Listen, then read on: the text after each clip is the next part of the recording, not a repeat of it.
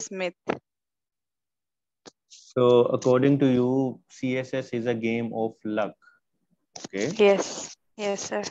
Also And? that despite the fact uh, आप जितनी मर्जी प्रैक्टिस करो you are never going to pass English essay it's just the luck कि आप English essay पास कर लो अगर पहले से प्रिपेयर किया हो Anything else?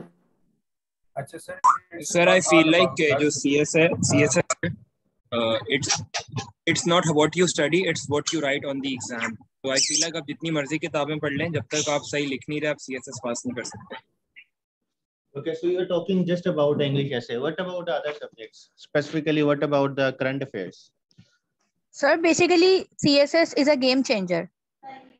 It is a game changer. ये तो buzzword है ना. CSS is a game changer. CSS is luck. So अभी तक जो आप लोगों ने understand किया है, सो so, आपके नज़दीक क्या इसका जो है वो क्या लगता है कि only this is is about general knowledge आपके uh,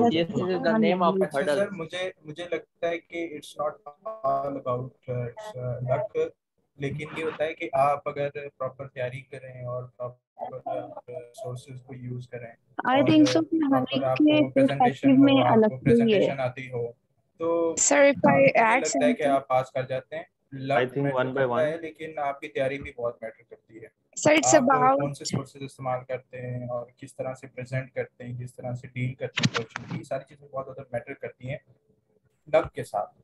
And it's not about uh, hard work it's more about smart smart work that matters Okay, so most of you have contributed. So Hello. आप आप सबकी जो है वो Sir, I think मेरी बात सुन ली है. CSS means Okay, so I think um, most of you or many of you have contributed positively in this discussion. So CSS, according to some of you, it is a game of luck. You are saying it is a game of luck. So it is a game of luck, and some says that it is a game of hard work, and some says that here you need to do smart work, okay, and some says that it is all about general knowledge.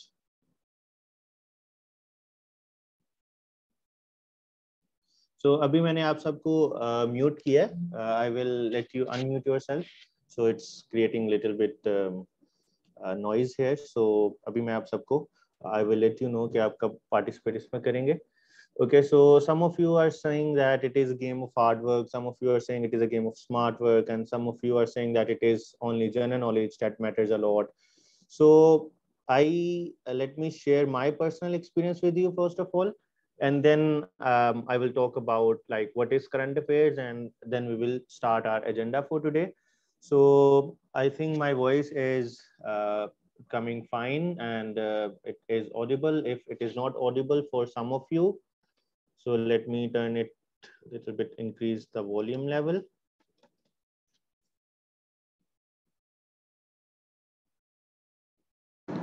So I think now it is audible enough.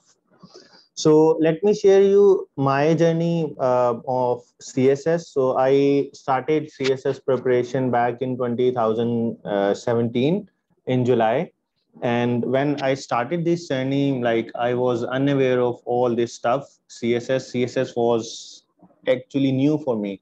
Like uh, from a background of engineering, mechanical engineering, especially from UET, and then coming to the css was not an easy task and i think it is not an easy task for many of you but we again have to start preparation and we have to find a direction so for me the direction was actually i started preparation from um, english essay. I started to write more and more on uh, paragraphs. I started from paragraph writing and then i shifted to uh, making outlines and then writing whole essays on daily basis. So that was my starting point.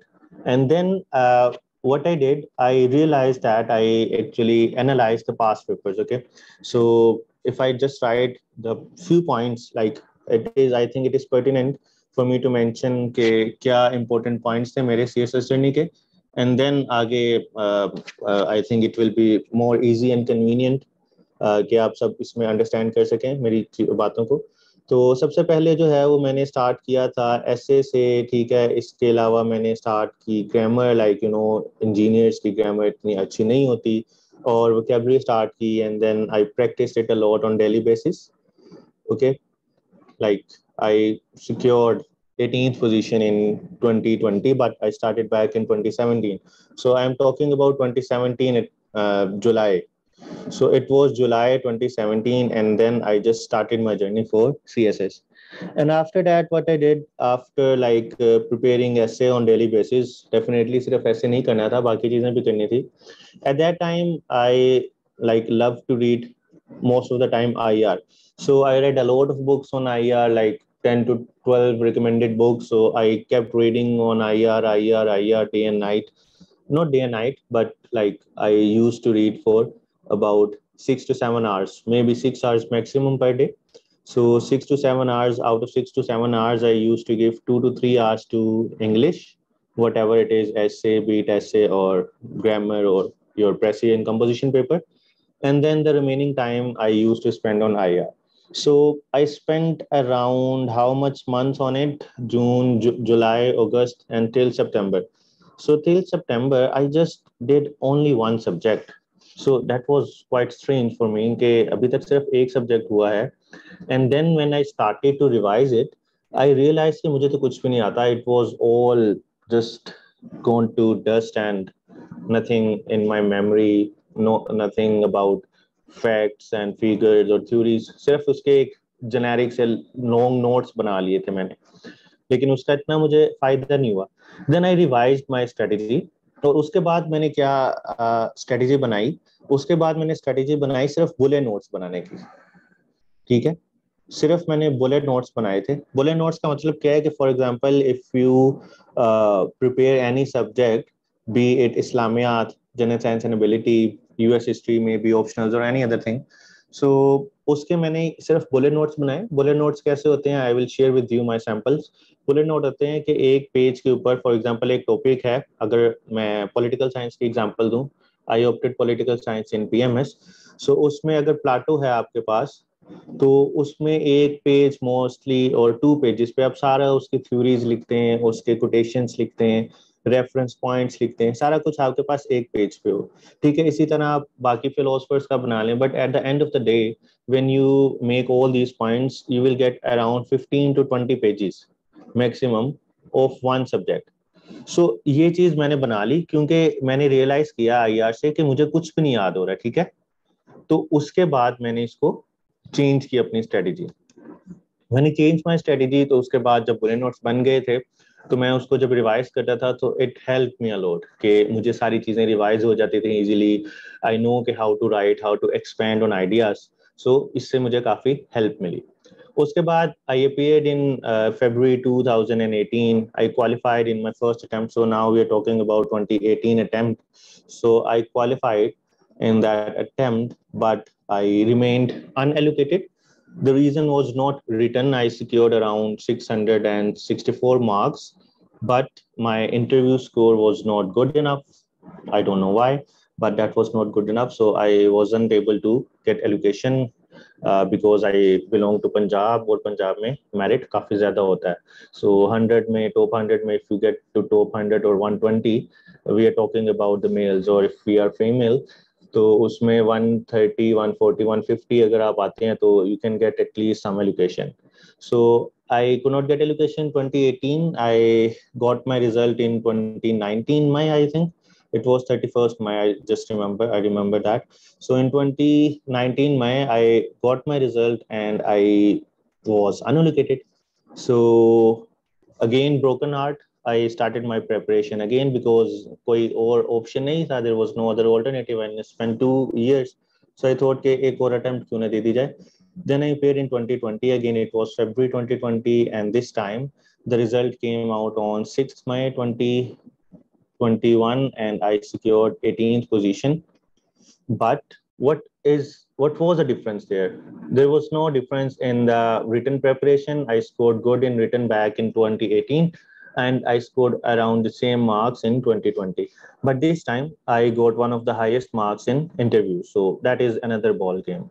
So the main thing आपको बताने का purpose ये था कि जो आपने अभी ऊपर मिथ्स बताई सारा कुछ डिस्कस किया so again I know that it varies person to person and experience to experience but my experience was something else i experienced ke bhai ye jo css hai it is more about your smart work contribution like yes it is good to read more books enough books but it is equally good to make bullet points to note down the points which you have memorized to write down to jot them down or usko cram karna so it is something like that you have to cram whatever you are studying okay क्योंकि आपने उधर जाके appear होना है paper को attempt करना है you are not there for any kind of interview कि वो आपसे कुछ डिस्कशन करेगा कुछ आपका uh, जो है वो बैकग्राउंड नॉलेज चेक होगा it is not like that so you have to write on a piece of paper only in three hours and after that there is one more important thing which we usually ignore most of the aspirants ignore while preparing css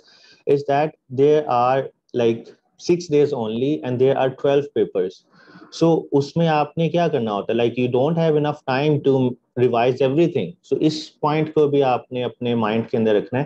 You don't have too much time to revise everything in this particular amount of time which you have after each paper so आपने अगर ये notes इस तरह का, जिस तरह मर्ज़ी के नोट्स बनाए but if you have something written if you have something very much precise तो आप उसको इजीली रिवाइज कर सकते हैं। एंड अगेन आपने एम सी क्यूज पे भी फोकस करना है। So MCQs play an important role as well so ये मेरा एक्सपीरियंस था। नाउ यू कैन कंस्ट्रू जी ये मेरे पास गुड लक थी I like qualified in two of my attempts and i also qualified pms in two of my attempts i appeared in pms 2018 i could not get allocation but in 2020 i didn't apply uh, like i didn't i did not appear in the interview because because i got the css result so again like with me i got 4 by 4 so it's 100% average so i'm not bragging about myself i'm just saying that it is not out of the like it, it is not a journey which we cannot achieve we can definitely achieve this journey if we have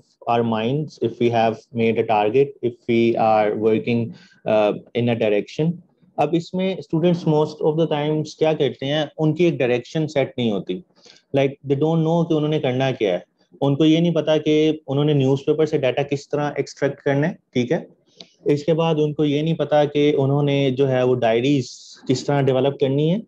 इसके बाद आपने English expression पे किस तरह काम करना है और उसके बाद अभी जो मैंने आपको चीज़ बताई कि रिवीजन किस तरह करनी है।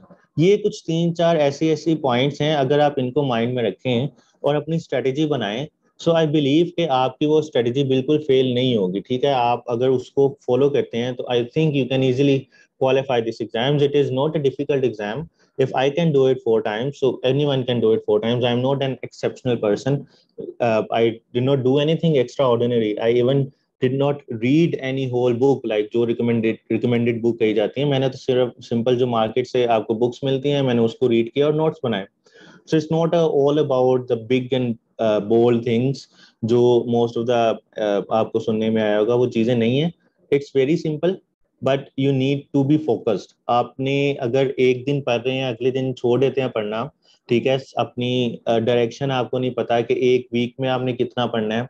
आपने दो हफ़्ते के अंदर कौन सी चीज़ों को कवर करना है? आपके पास प्लानिंग नहीं है। तो फिर आपके पास बिल्कुल डायरेक्शन नहीं है। अगर आप ये समझ के बैठे हैं कि आज चलें, आज मैं पाकिस्तान अफेयर्स करता हूँ, शाम को मैं जनरल सेंसिबिलिटी करूँगा तो ठीक है, ये टॉपिक मैं कर लूँगा। अच्छा वो टॉपिक नहीं होते। You do not evaluate yourself आपकी परफॉर्मेंस क्या थी? आपने आज अपनी इनपुट कितनी दी? आपको आउटपुट कितनी मिली? So if you try to analyse yourself evaluate yourself then आप उसमें माइनस आउट कर सकते हैं आपकी कौन कौन सी वीकनेसेस हैं और फॉलो कर सकते फॉलो कर सकते हैं आपकी कौन सी स्ट्रेंथ्स हैं। So this is very important thing जिस पे हम सबको अमल करना है। ठीक है? अब हम जाते हैं आपके क्वेश्चंस जो हैं वो uh, मैं भी देखूँगा आप मैसेजेस पे जो लिख रहे हैं। So like I spend around 15 minutes और so on this myths related to CSS and to share my CSS journey ये थोड़ा सा आई थिंक आप लोगों के लिए इम्पोर्टेंट था। कुछ में भी किसी को मोटिवेशन चाहिए तो वो मिल जाए। कोई समझ रहा है कि मैं I am just bragging about तो वो समझ ले। इट डजंट मैटर अच्छा अब हम बात करते हैं जी सी uh, के अंदर हमारे पास 12 exams hote uh, kindly whoever is using this um, annotation please stop. Otherwise i'll remove him or her whatever he is or her. So uh, let me do this. Who is this person? Can anyone identify or her? It's very bad.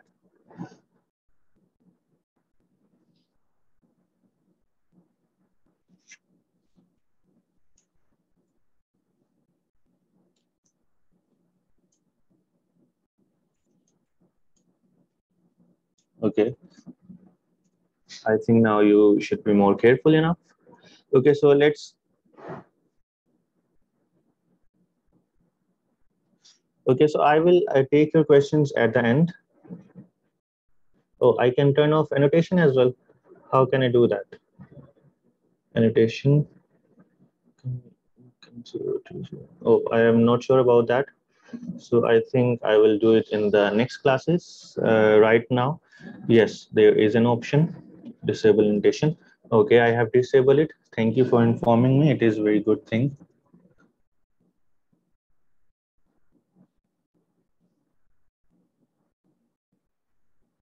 Okay. So now what we can do, the other thing is कि C S S के अंदर current affairs को किस तरह जो है वो तैयार किया जाए। अगेन ये सारा फोकस जो है वो सारा खत्म कर दिया उसने अच्छा भला टेंपो बना हुआ था। सो so, अब हमने हमने बात करनी है कि सी एस एस में करंट अफेयर्स को किस तरह हैंडल किया जाए और इसमें स्ट्रेटेजी क्या होनी चाहिए।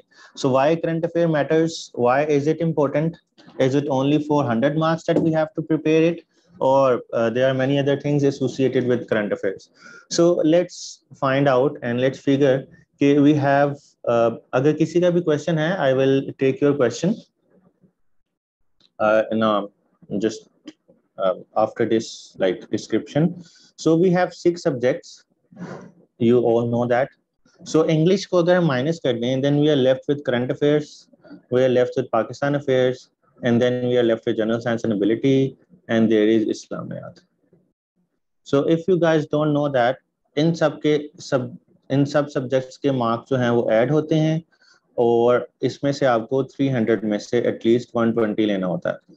So let's say if you flunk in one of the subject let's say if you flunk in CA if you get only 30 marks maybe 25 marks whatever but overall score is 120 plus then you can easily pass your exam तो इसमें 300 count होते हैं total सारे link subject हैं ये तीनों।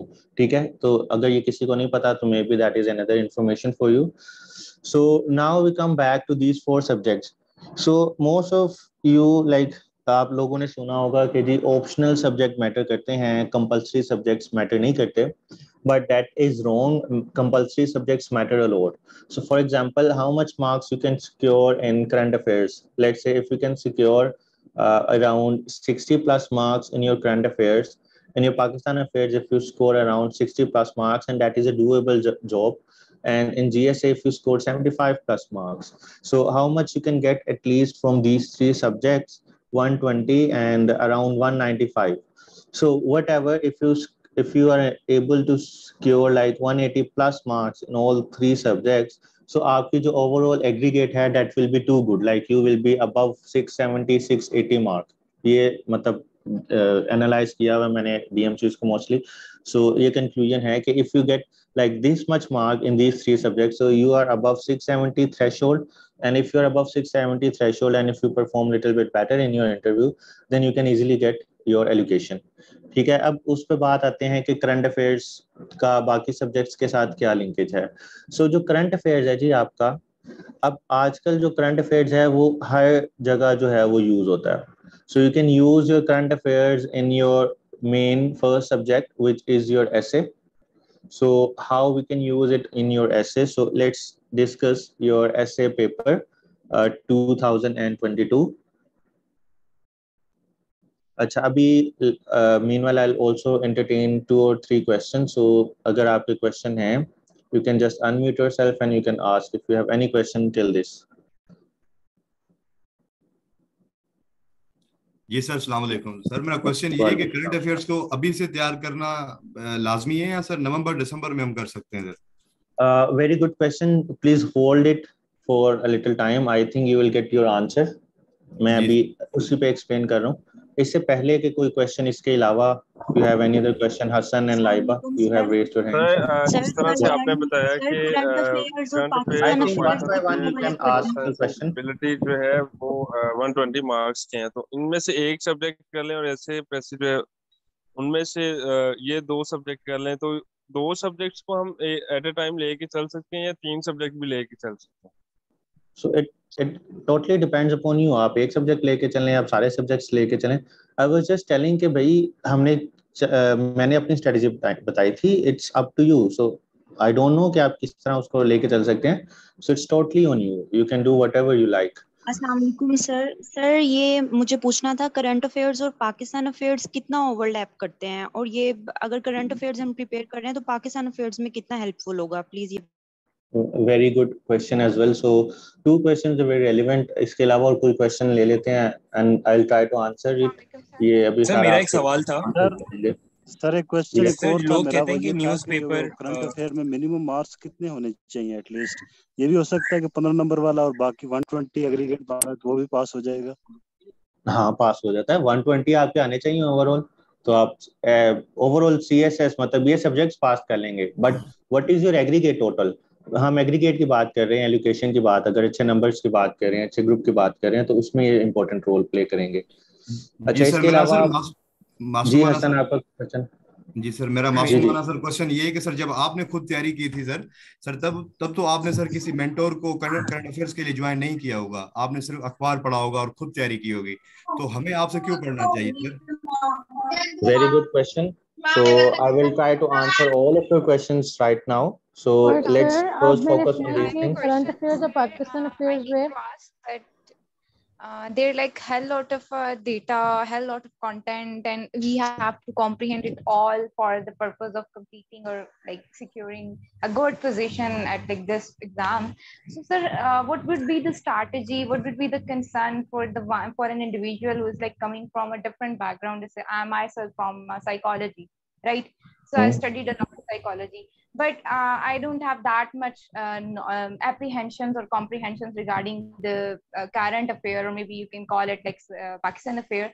So how would be I able to get a kind of a grasp on it, all these things and gather all the information? Because मुझे लगता है कि ये इतना सारा एकदम से करना और वो क्योंकि आप baffle हो जाते हो और उस तरह से करना it would be more like difficult for a person like from a different background or like something like that. So how would I be okay. able to grasp So again, And again, very important question. I think it should be the last question, then we'll continue. जी बता दें. तो sir I have sir मुझे आपसे पूछना है कि मैंने सुना कि करंट अफेयर्स और पाकिस्तान अफेयर्स से काफ़ी ओवरलैप करते हैं तो अगर हम करंट अफेयर्स और पाकिस्तान अफेयर्स की तैयारी इकट्ठे करनी चाहिए क्योंकि इस दफ़ा अगर हम देखें 2022 का पेपर तो पाकिस्तान अफेयर्स का paper was more or less the current affairs का पेपर और अब वो दो okay. सालों से प्री पार्टीशन नहीं दे रहा तो मेरा ख्याल है टोटल डायमेंशन हमें तैयार करनी होती है एक टॉपिक की लाइक अगर यूक्रेन रशिया क्राइसिस है तो उसके हमें दो तीन चार डायमेंशन उसको तैयार करना है तो ये हमारी कुछ सौ पेपर डायमेंशन बन जाती है। तो बस करंट is uh, uh, उसके बाद हम आपके सारे क्वेश्चन आंसर कर डिस्कस करेंगे। So again, sorry if anyone of you has any question and which is uh, which remain unanswered. So usko bhi, uh, I will give you some time. Okay, so uh, there was a question कि जी ये सारा कुछ data किस तरह तैयार किया जाए and uh, whether they are overlapping or not and uh, uh, if I have prepared current affairs myself, so why you should take my class? Very important question and which I think I should answer, but I will answer it at the end. So Hassan, agar aapka question tha, I think uh, please hold on till the class end and then you will uh, i think get your answer. So this was your uh, css essay 2022 right? This was the paper. So now the question uh, here is written as an analysis of the concept of globalization of markets. So how can we analyze the concept of globalization of markets if we don't know what is globalization? Okay if you don't know the concept of globalization i'm just giving you a hint कि आपको current affair कहाँ कहाँ help करता है first we will build on that कि current affairs कहाँ कहाँ help करेगा and then we will come to its connecting parts i have started from essay and then i'll try to link it with other subjects as well so just hold on for a while and then you will get your answers so the question was ke, uh, analyze the concept of globalization of markets so first of all you should know okay, what is the concept of globalization and where it is happening So you can just talk about the US dominance. So उसमें आपको data कहाँ से मिलेगा? आपको ये कैसे पता लगेगा कि यूएस डोमिनेट कर रहा है? आपको करंट अफेयर से ही ये पता लगेगा कि यूएस जो है इस वक्त लार्जेस्ट इकोनॉमी है। उसके बाद आप उसमें ये देखेंगे, अगर आपने यूएस चाइना जो है वो वॉर कोल्ड वॉर या ट्रेड वॉर डिस्कस की है तो उसमें ये देखेंगे कि यूएस चाइना डी कपलिंग इस वक्त इतनी इम्पॉसिबल क्यों है?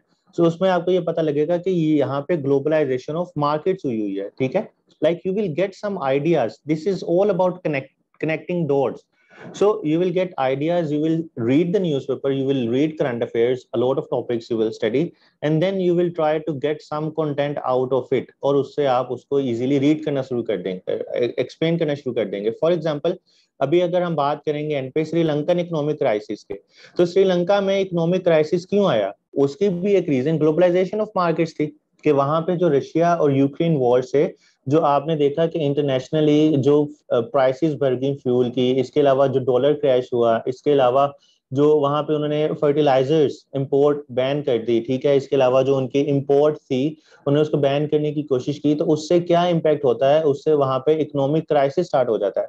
So that is actually the concept of globalisation of markets so it is interlink with your current affairs okay like one answer one पहली हेडिंग इससे रिलेटेड थी then we talk about digital democracy social media and political participation so ये digital democracy इस पे आप कैसे read करेंगे कि what is digital democracy और social media और इसमें इसके लिए अगर आप if you just follow current affairs you will get to know that कि हाउ ट्रंप लाइक उसने अपना जो प्रोपेगेंडा uh, था उसने प्रोपेगेट किया ठीक है? उसने किस तरह सोशल मीडिया को यूज़ किया? इसके अलावा जो सोशल मीडिया के एजेंट्स हैं जिसमें अगर आपने लास्ट न्यूज़ पढ़ी हो कैम्ब्रिज एनालिटिका डाटा जिस तरह यूज़ हुआ है वोटर्स को उसको टारगेट करने में न्यूज़ को टारगेट करने में आप उसमें वहाँ पे यूज़ कर सकते हैं ठीक है? इसके अलावा आप इसमें क्या कर सकते हैं? पॉलिटिकल पार्टिसिपेशन का देख सकते हैं कि जो आपकी जो यूथ है now your mainstream media cannot handle your youth.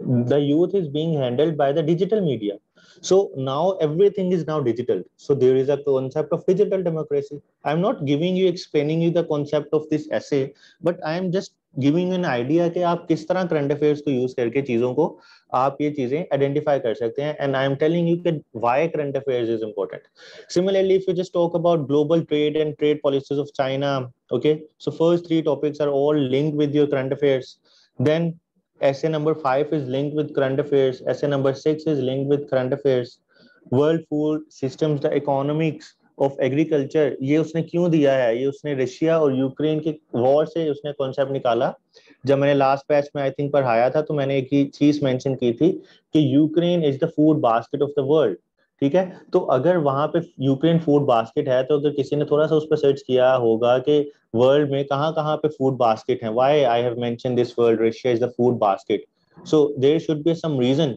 कि if sorry Ukraine is a food basket so Ukraine क्या क्या चीज़ें प्रोड्यूस करते हैं? वो क्यों इतनी प्रोड्यूस करता है? I think I gave a brief lecture last time on this topic as well उसमें हम देखेंगे कि यूक्रेन इतना फर्टाइल लैंड क्यों है? वो किस किस को फ़ूड सप्लाई कर रहा है? इसके अलावा फ़ूड सप्लाई कहाँ कहाँ से आ रहा है? ग्लोबल शेयर किस किस कंट्री का कितना कितना ग्लोबल शेयर है? तो उससे अगर आपके पास आइडिया होता तो मे बी ये भी ऐसे किया जा सकता है। ठीक है? उसके बाद ethical consumerism it's something I don't know अब उसके बाद आगे देखते हैं। How is terrorism and its perception shaped by the mass media so again mass media it's current affair topic so you can see that how many topics at least one two three four five six six topics were directly linked with your current affairs so you see current affairs is that much important so agar aapko current affair ki cheezon ka idea nahi hoga aapko information nahi pata तो आप उसमें क्या कर सकते हैं आप basically अपनी information को पॉलिश कर सकते हैं you have a lot of time okay अब क्वेश्चन इसी के साथ मैं लिंक कर सकता हूँ कि why to prepare current affairs right now why to prepare current affairs now okay अभी क्यों स्टार्ट किया जाए इसकी प्रिपरेशन भाई दिसंबर में कर लेंगे जनवरी में कर लेंगे, अभी कौन सी जल्दी आ गई अभी हम बाकी सब्जेक्ट्स कर लेते हैं। One of you have also asked this question तो उसकी आंसर यहाँ पे लाया करता है। अगर आप उसको दिसंबर में करेंगे तो किस तरह कनेक्ट करेंगे डोट्स आपके पास इंफॉर्मेशन कहाँ से आएगी? ऐसे कहाँ से तैयार करेंगे? क्या किसी ऑथर की बुक से तैयार कर लेंगे? या किसी ऐसे एक मेंटोर के पास जाएँगे जो आपको तैयार करवा देगा? आप वो चीज़ किसी से तैयार कर ही नहीं सकते जब तक आपने खुद चीज़ें ना तैयार की हो। So this is basically the right time to prepare current affairs because it is not only for the current affairs it is mainly for your essay for your pakistan affairs and overall to give you an impression that what is css what you need to know so css is not all about cramming and the thing which is written it is about understanding your environment understanding what is happening around your globe your domestic politics, your international politics, domestic issues, international issues. For example, what is happening in Sri Lanka and why is happening in Sri Lanka like that? Uh, what is Iran nuclear deal? And उसके अंदर कौन से factors involve हैं पाकिस्तान को क्या फ़ायदा होगा ठीक है सऊदिया को क्या नुकसान होगा रशिया और ईरान क्यों इतना करीब हैं so when you raise these questions it help you in building your critical analysis so this is the critical analysis that you are going to write in the exam. You are not going to reproduce what you have written.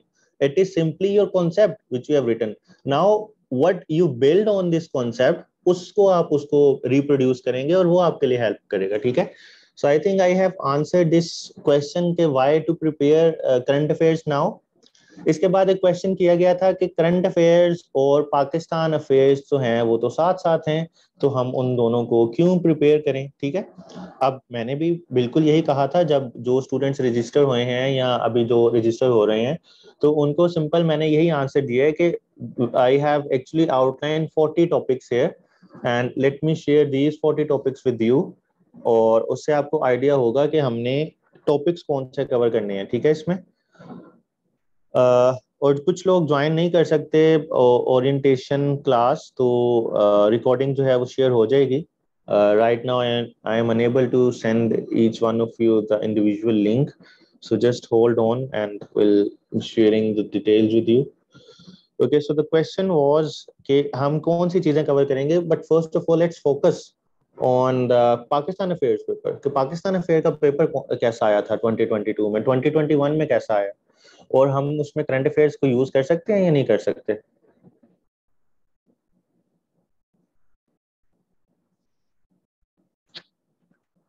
I am pasting it just a second hold on so there I think eight question in the exam eight ही होते हैं.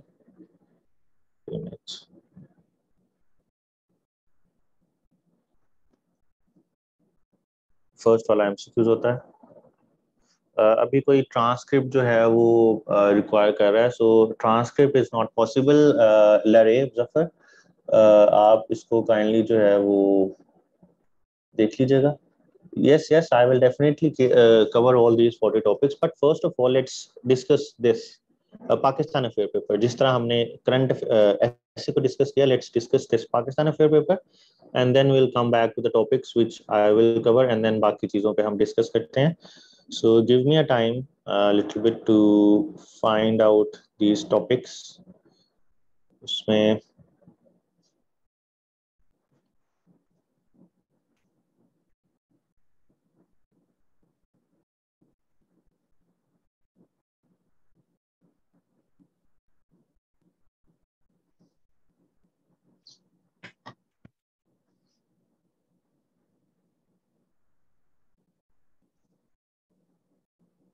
Okay, so I have it.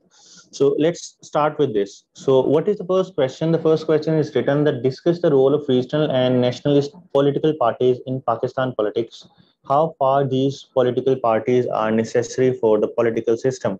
So ये जो है ये question है political science से overlap करता हुआ अब इसमें आपने क्या आप किस तरह रीड कर सकते हैं इससे इस क्वेश्चन को अंडरस्टैंड करने के लिए I am not the mentor of Pakistan affairs I am just giving a basic idea about that so इसके लिए हम क्या कर सकते हैं? इसमें आपको पता होना चाहिए कि पॉलिटिकल सिस्टम होता क्या है? पॉलिटिकल सिस्टम की बेसिक्स क्या हैं? पाकिस्तान का पॉलिटिकल सिस्टम डिफाइन करेंगे, जो आप मेरे ख्याल से डिफाइन करते हैं कि पाकिस्तान पॉलिटिकल कल्चर क्या है? वो डिफाइन करेंगे, फिर थोड़ी सी इसके अंदर हिस्ट्री आ जाएगी नाइनटीन फोर्टी सेवन के बाद की बात बात कर सकते हैं। उसके बाद regional and nationalist political parties बता देंगे कि कौन कौन सी हैं, किस एरियाज़ की हैं मतलब मेंशन नहीं करेंगे, उसको बता देंगे और उसके बाद लिख देंगे कि इनकी जो है वो डिस्कोर्स क्यों इंपॉर्टेंट है, उसमें फिर एटीन अमेंडमेंट आप उसमें बताएँगे कि किसकी मेन आउटपुट है। इसके अलावा जो डिबेट्स होती हैं पार्लियामेंट्री डिबेट्स पार्लियामेंट्री डेमोक्रेसी है, वो सारी इसके लिए इंपॉर्टेंट है। तो अब हम देखते हैं वो वाला क्वेश्चन जो रेलिवेंट है करंट अफेयर से।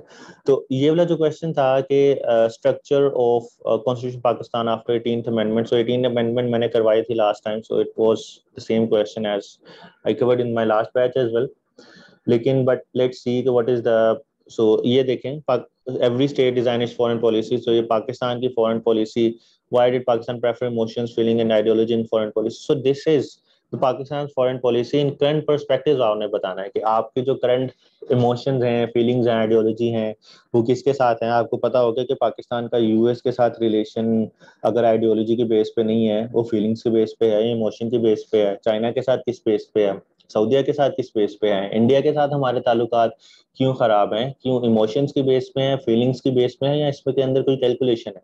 तो सारा कुछ आपको कैसे पता लगेगा इस नॉलेज का? You you won't get these things from your book any book किसी भी बुक के अंदर ये चीज़ मेंशन नहीं है. इवन लिटरेचर के अंदर भी नहीं है.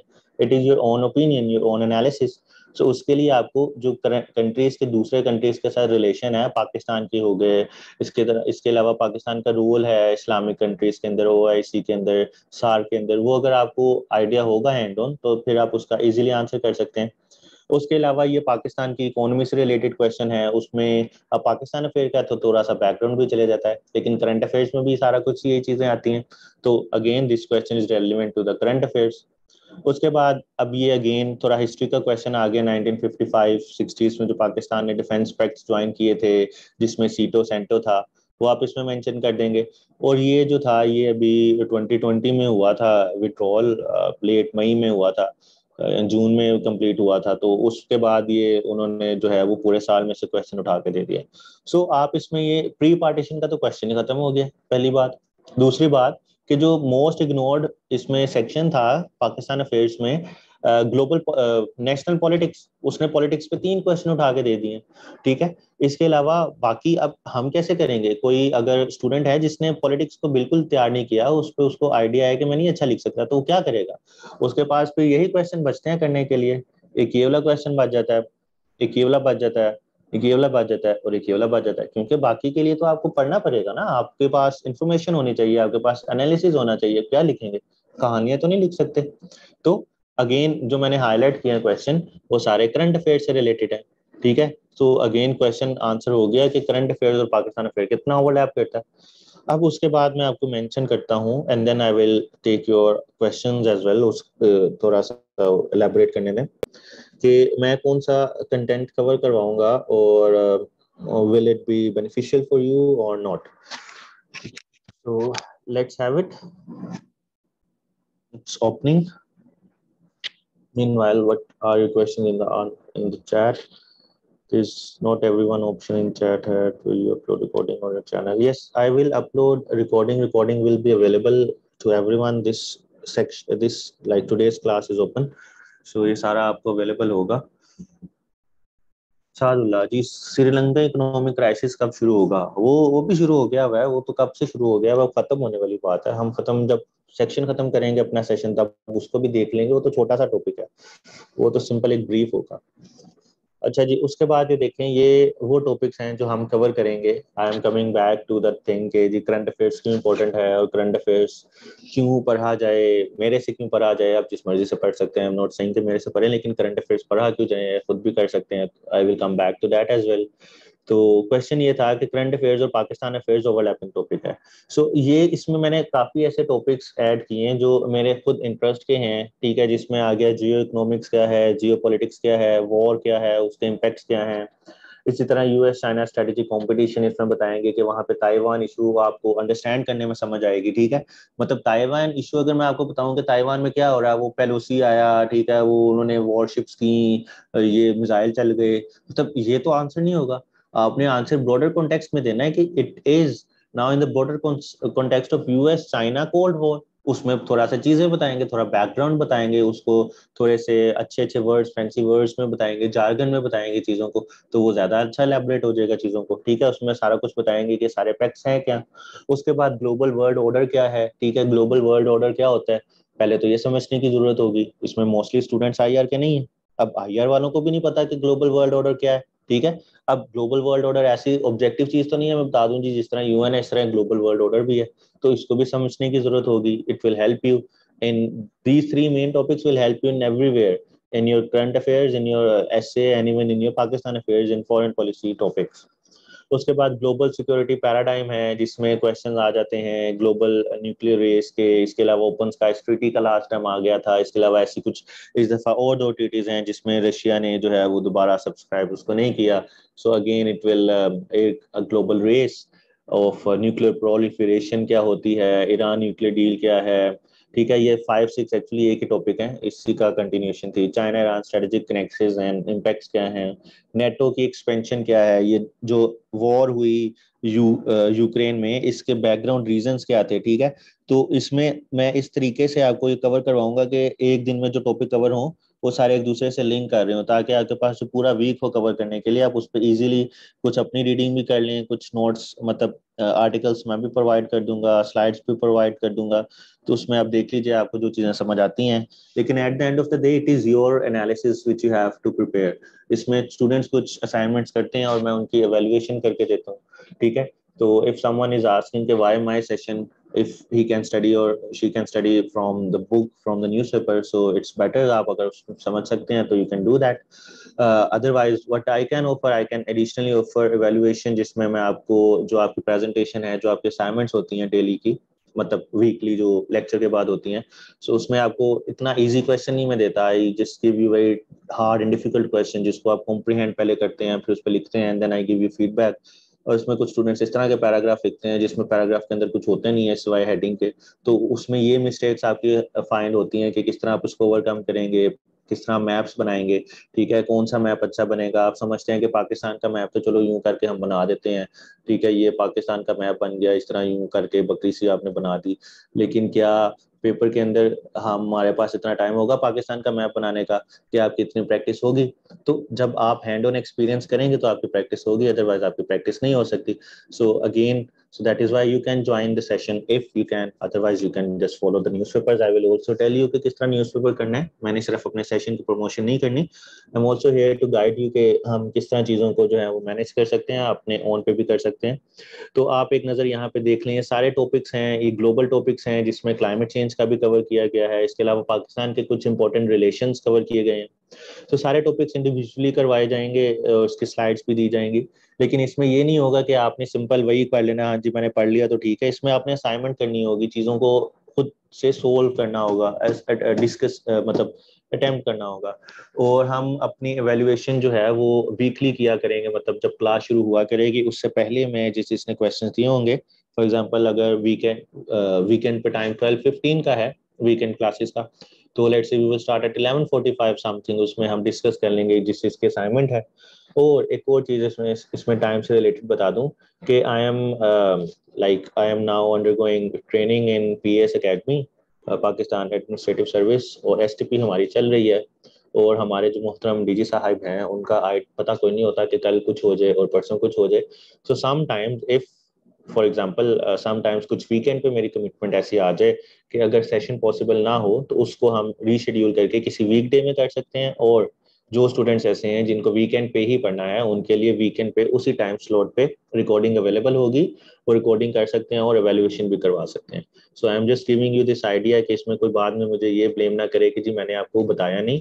So I will try to assist you as much as possible उसके बाद आप ये डोमेस्टिक टॉपिक्स हैं very broad topics economy of Pakistan जिसमें टैक्स रिजाइम है, उसके बाद एम एफ़ वाला कॉन्सेप्ट है सी पैक है एफ़ ए टी एफ़ वाला है, जो कि अब काफ़ी हद तक ख़त्म हो गया है, लेकिन फिर भी पढ़ने की ज़रूरत है।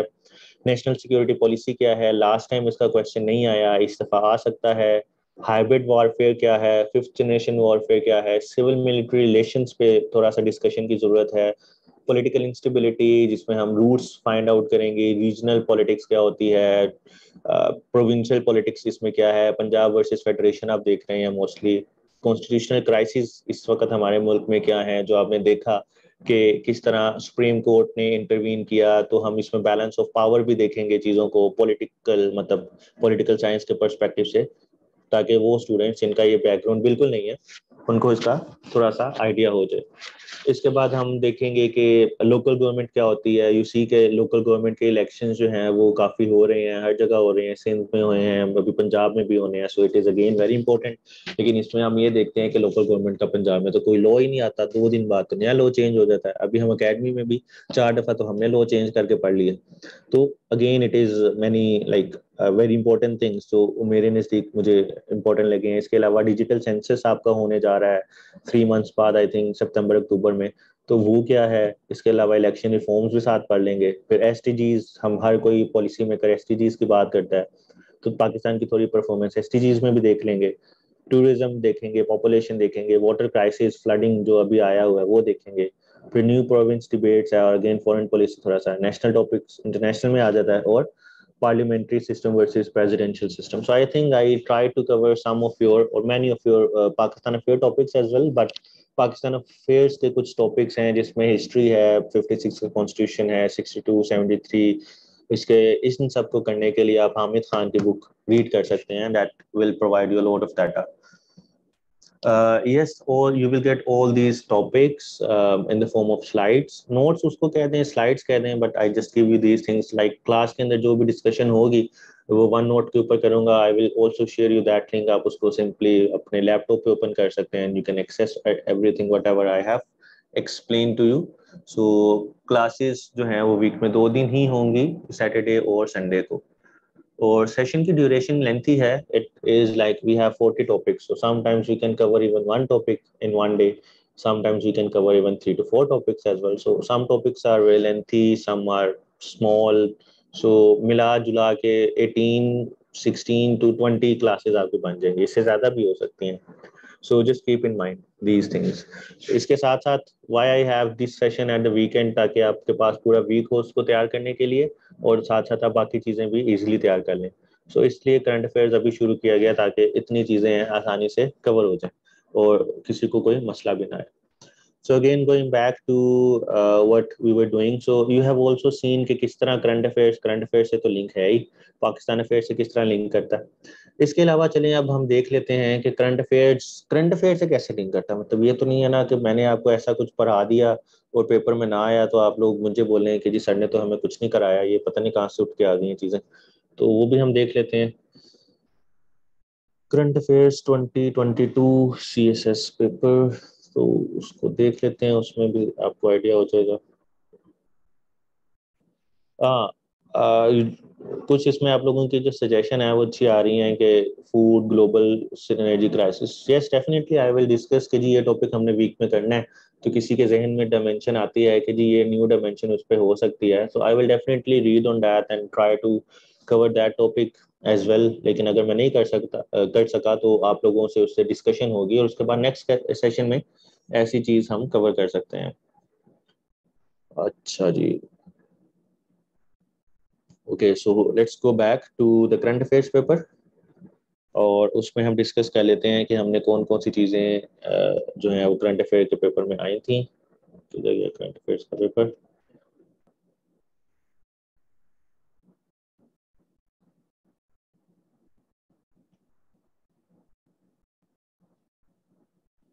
तो बहुत ही एक let me just paste the current affairs paper here.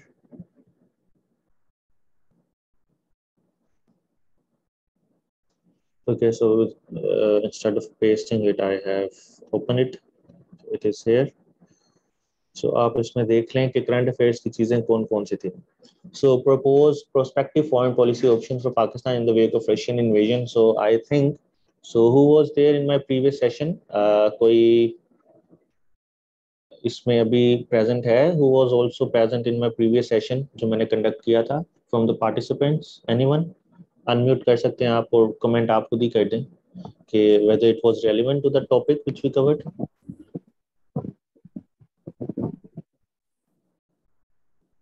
so no one is here from my previous session. अच्छा कोई बात नहीं। अस्सलाम वालेकुम। वालेकुम सलाम। मैं थी लास्ट सेशन में थी और ना सिर्फ़ ये और भी लिस्ट ऑफ़ टॉपिक्स अभी आप नीचे चलेंगे ना तो वो शेयर कर दें सारे आए हुए थे। Five five question five to six इसी में से थे। और ये फॉरेन पॉलिसी वाला बहुत डिटेल में डिस्कस हुआ था।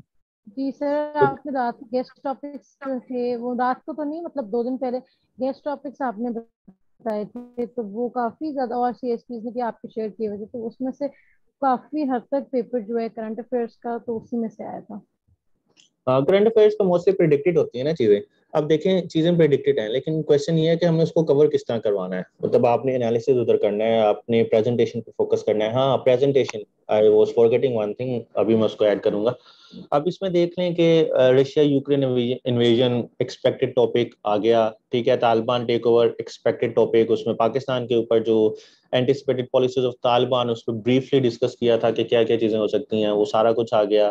ठीक है, ये न्यू स्टार ट्रीटी मैंने डिस्कस नहीं की थी आई आई लाइक एक्चुअली मेरे से इग्नोर हो गई। कंटेंट में नहीं आई तो एंड पे भूल गया, लेकिन ये भी आ गई थी क्योंकि ये भी तभी हुआ था। तो उसके बाद ओ डिस्कस किया, ये भी आ गया। ठीक है, उसके बाद पार्लियामेंट्री वर्सेस प्रेसिडेंशियल सिस्टम काफ़ी डिटेल में डिस्कस हुआ, कुछ जो आप लोगों के लिए रेलिवेंट था। हमने उधर थीसिस रिमेंबर हमने उधर थीसिस नहीं लिखना जाके क्या पता नहीं कोई ऐसी चीज़ लिख दें जो किसी ने ना लिखनी हो, इस चक्कर में वो वो भी लिखने से जाए जो आप लिख सकते हो।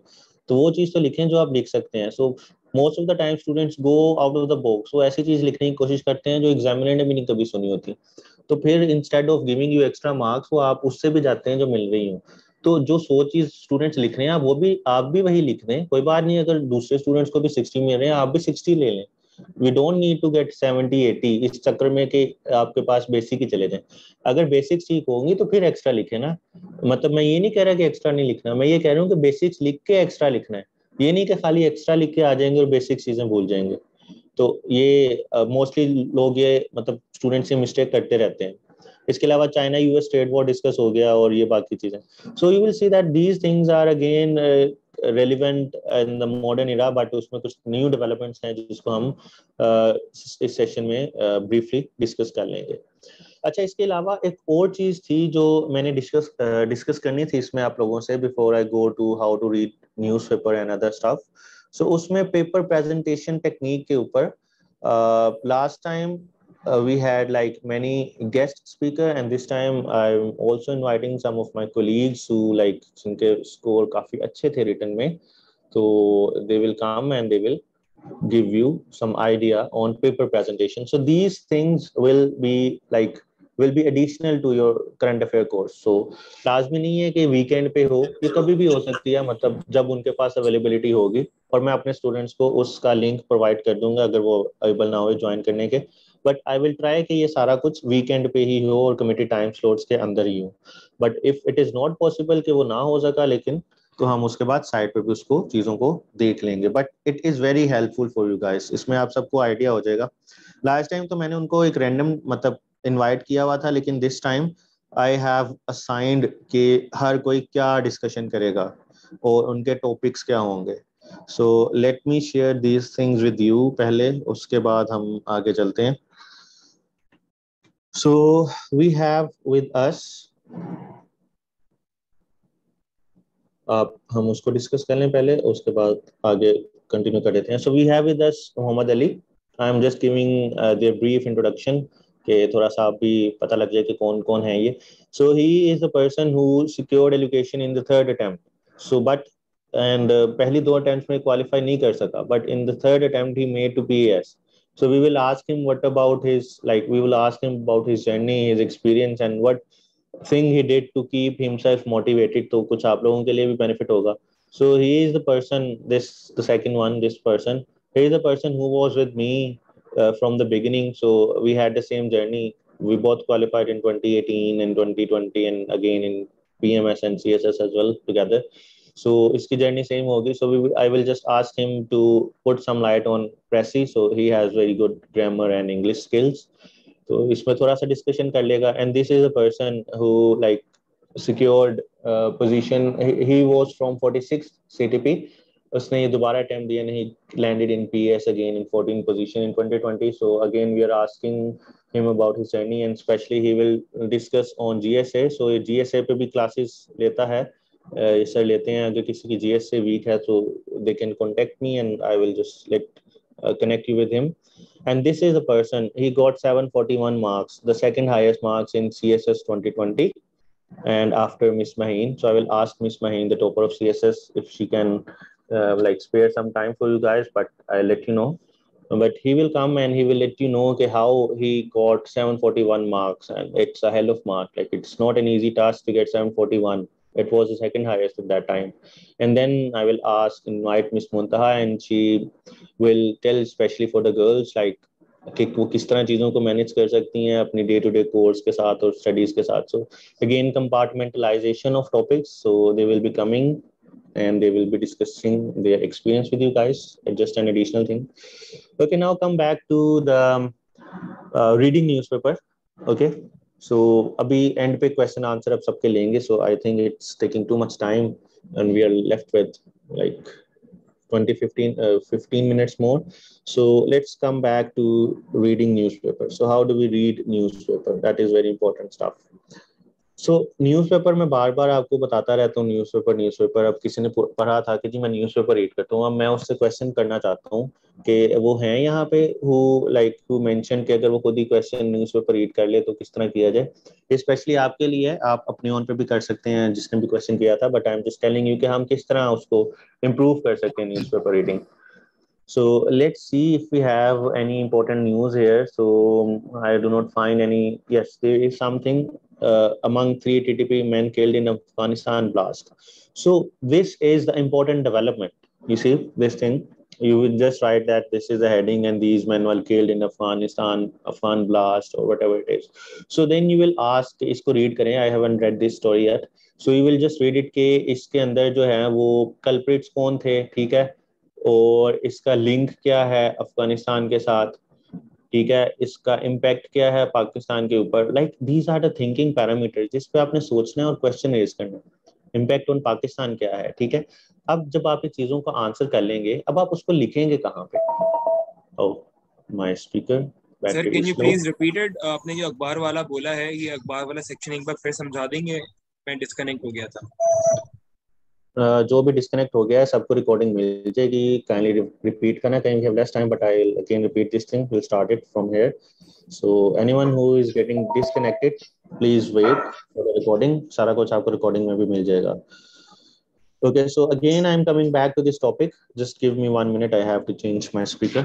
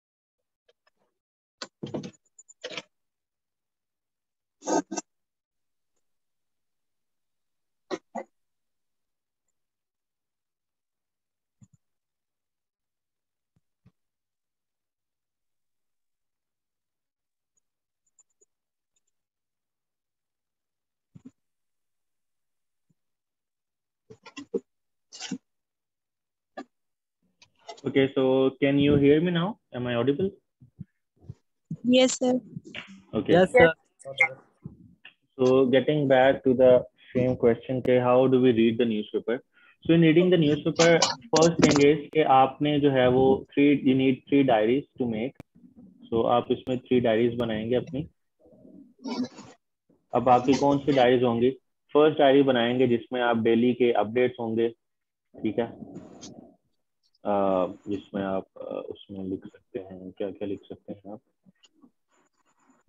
इसमें आप सेक्शन वाइज बनाएँगे कि मतलब डोमेस्टिक इश्यूज़ कौन से हैं आपके पास? और आपके पास ग्लोबल इश्यूज़ कौन से हैं? इसी तरह फर्दर इसकी कंपार्टमेंटलाइज करेंगे कि डोमेस्टिक में हेल्थ से रिलेटेड कौन से हैं?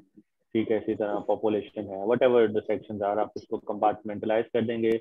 थ्री टू सेवन पेजेस आप ईच हेडिंग के लिए छोड़ सकते हैं, ठीक है? इसी तरह ग्लोबल अगर यूएस से रिलेटेड कुछ है चाइना से रिलेटेड कुछ है रशिया से रिलेटेड कुछ है whatever you have so we'll just make some compartments and then you will write updates there कि जिस तरह अभी अगर फॉर एग्जांपल ये टीटीपी अफ़गानिस्तान से रिलेटेड है सो आप इधर अफ़गानिस्तान वाला सेक्शन बनाएँगे और उस पर सिंपल ये एक अपडेट लिख देंगे छोटी सी हेडिंग में डोंट मोर देन दैट उसके बाद ये फ़र्स्ट आपके पास डायरी होगी, ठीक है? सेकंड डायरी आपकी कौन सी होगी? I think there is some noise coming let me unmute everyone so second diary आपके पास कौन सी होगी? आपके पास जो सेकंड डायरी होगी, उसके अंदर होगी वो एनालिसिस वाली। अब उसके अंदर आपने एनालिसिस देना है। एनालिसिस कौन सा होगा? एनालिसिस आप देंगे। आप इसके अंदर एनालिसिस कौन सा देंगे? आप इसके अंदर एनालिसिस देंगे। कि जी, आपने यही जो टॉपिक पढ़ा है, इसी तरह इसके सेम कंपार्टमेंटलाइज करेंगे इसको, ठीक है डोमेस्टिक पे और आप इसको करेंगे इंटरनेशनल टॉपिक्स पे, ठीक है? दोनों पे करके आप इसमें सेक्शंस बना लेंगे, इसमें भी सेक्शंस बना लेंगे। लेकिन अब इसमें इन सेक्शंस के अंदर करेंगे क्या? फॉर एग्जांपल अगर आपने इधर सेक्शन बनाया है अफ़गानिस्तान वाला तो उसके अंदर आप ये न्यूज़ को रीड करें और उसको देखें कि क्या हो रहा है। तो इसमें लिखेंगे कि T L P T L P थी, क्या थी? टी टी पी थी, जो भी था T T man so T T है क्या? ठीक है? कि ये व्हाट इज़ टी टी ठीक है? अब ये इम्पैक्ट क्या है इसका पाकिस्तान का? मतलब उसको लिंक करें ना, कि उधर उसका, उसने ब्लास्ट किया या जो भी हुआ, उसके बंदे मर गए, किस तरह मरे, क्या पॉलिटिक्स उधर इन्वॉल्व है? यूएस का अगर कोई रोल है, नहीं है, पाकिस्तान का क्या रोल था? तो इस तरह आप उसमें एनालिसिस करते रहे, ठीक है? उसमें अगर आपको बैकग्राउंड नहीं पता एनालिसिस का बेनिफिट ही होता है, आपको बैकग्राउंड ही नहीं पता, किसी को टीटीपी का पता ही नहीं है, इधर कोई आगे मूड हाथ उसने न्यूज़ पेपर रीड कर लिया, उसने कहा, चलो जी टीटीपी के तीन बंदे मर गए। लेकिन उसको ये नहीं पता कि टीटीपी है क्या, बनी कब थी हिस्ट्री क्या है, अभी क्या चल रहा है, उसके साथ कोई निगोशिएशन हो रही है पाकिस्तान की, नहीं हो रही तो उसको रीड करें, उसको फाइंड आउट करें और उसको एनालिसिस करके बिल्ड कर लें, ठीक है? डेली का एक एनालिसिस काफ़ी है आप सबके लिए ओके तो ये आपकी दूसरी डायरी होगी। अब उसके बाद थर्ड डायरी के अंदर क्या होगा? अब थर्ड डायरी के अंदर आपके पास अच्छे इंग्लिश के लिए इंग्लिश पॉइंट ऑफ़ व्यू से होगा। इसके अंदर कुछ आपके पास अच्छे एक्सप्रेशन होंगे, ठीक है? एक्सप्रेशन का मतलब है कि जी, इसके अंदर आप देखेंगे कि for example if I go back to the newspaper thing again so let's see कि इसके अंदर किस तरह कर सकते हैं। Will go to the opinion section so opinion में हम जाते हैं। ओपिनियन के अंदर हम चले गए हैं, आपको स्क्रीन से नज़र आ रही है। Let's see the nation at 75 if you just open it so I think you can see this now अब इसको हमने ओपन कर लिया। अच्छा जी, इसके अंदर कर लें कि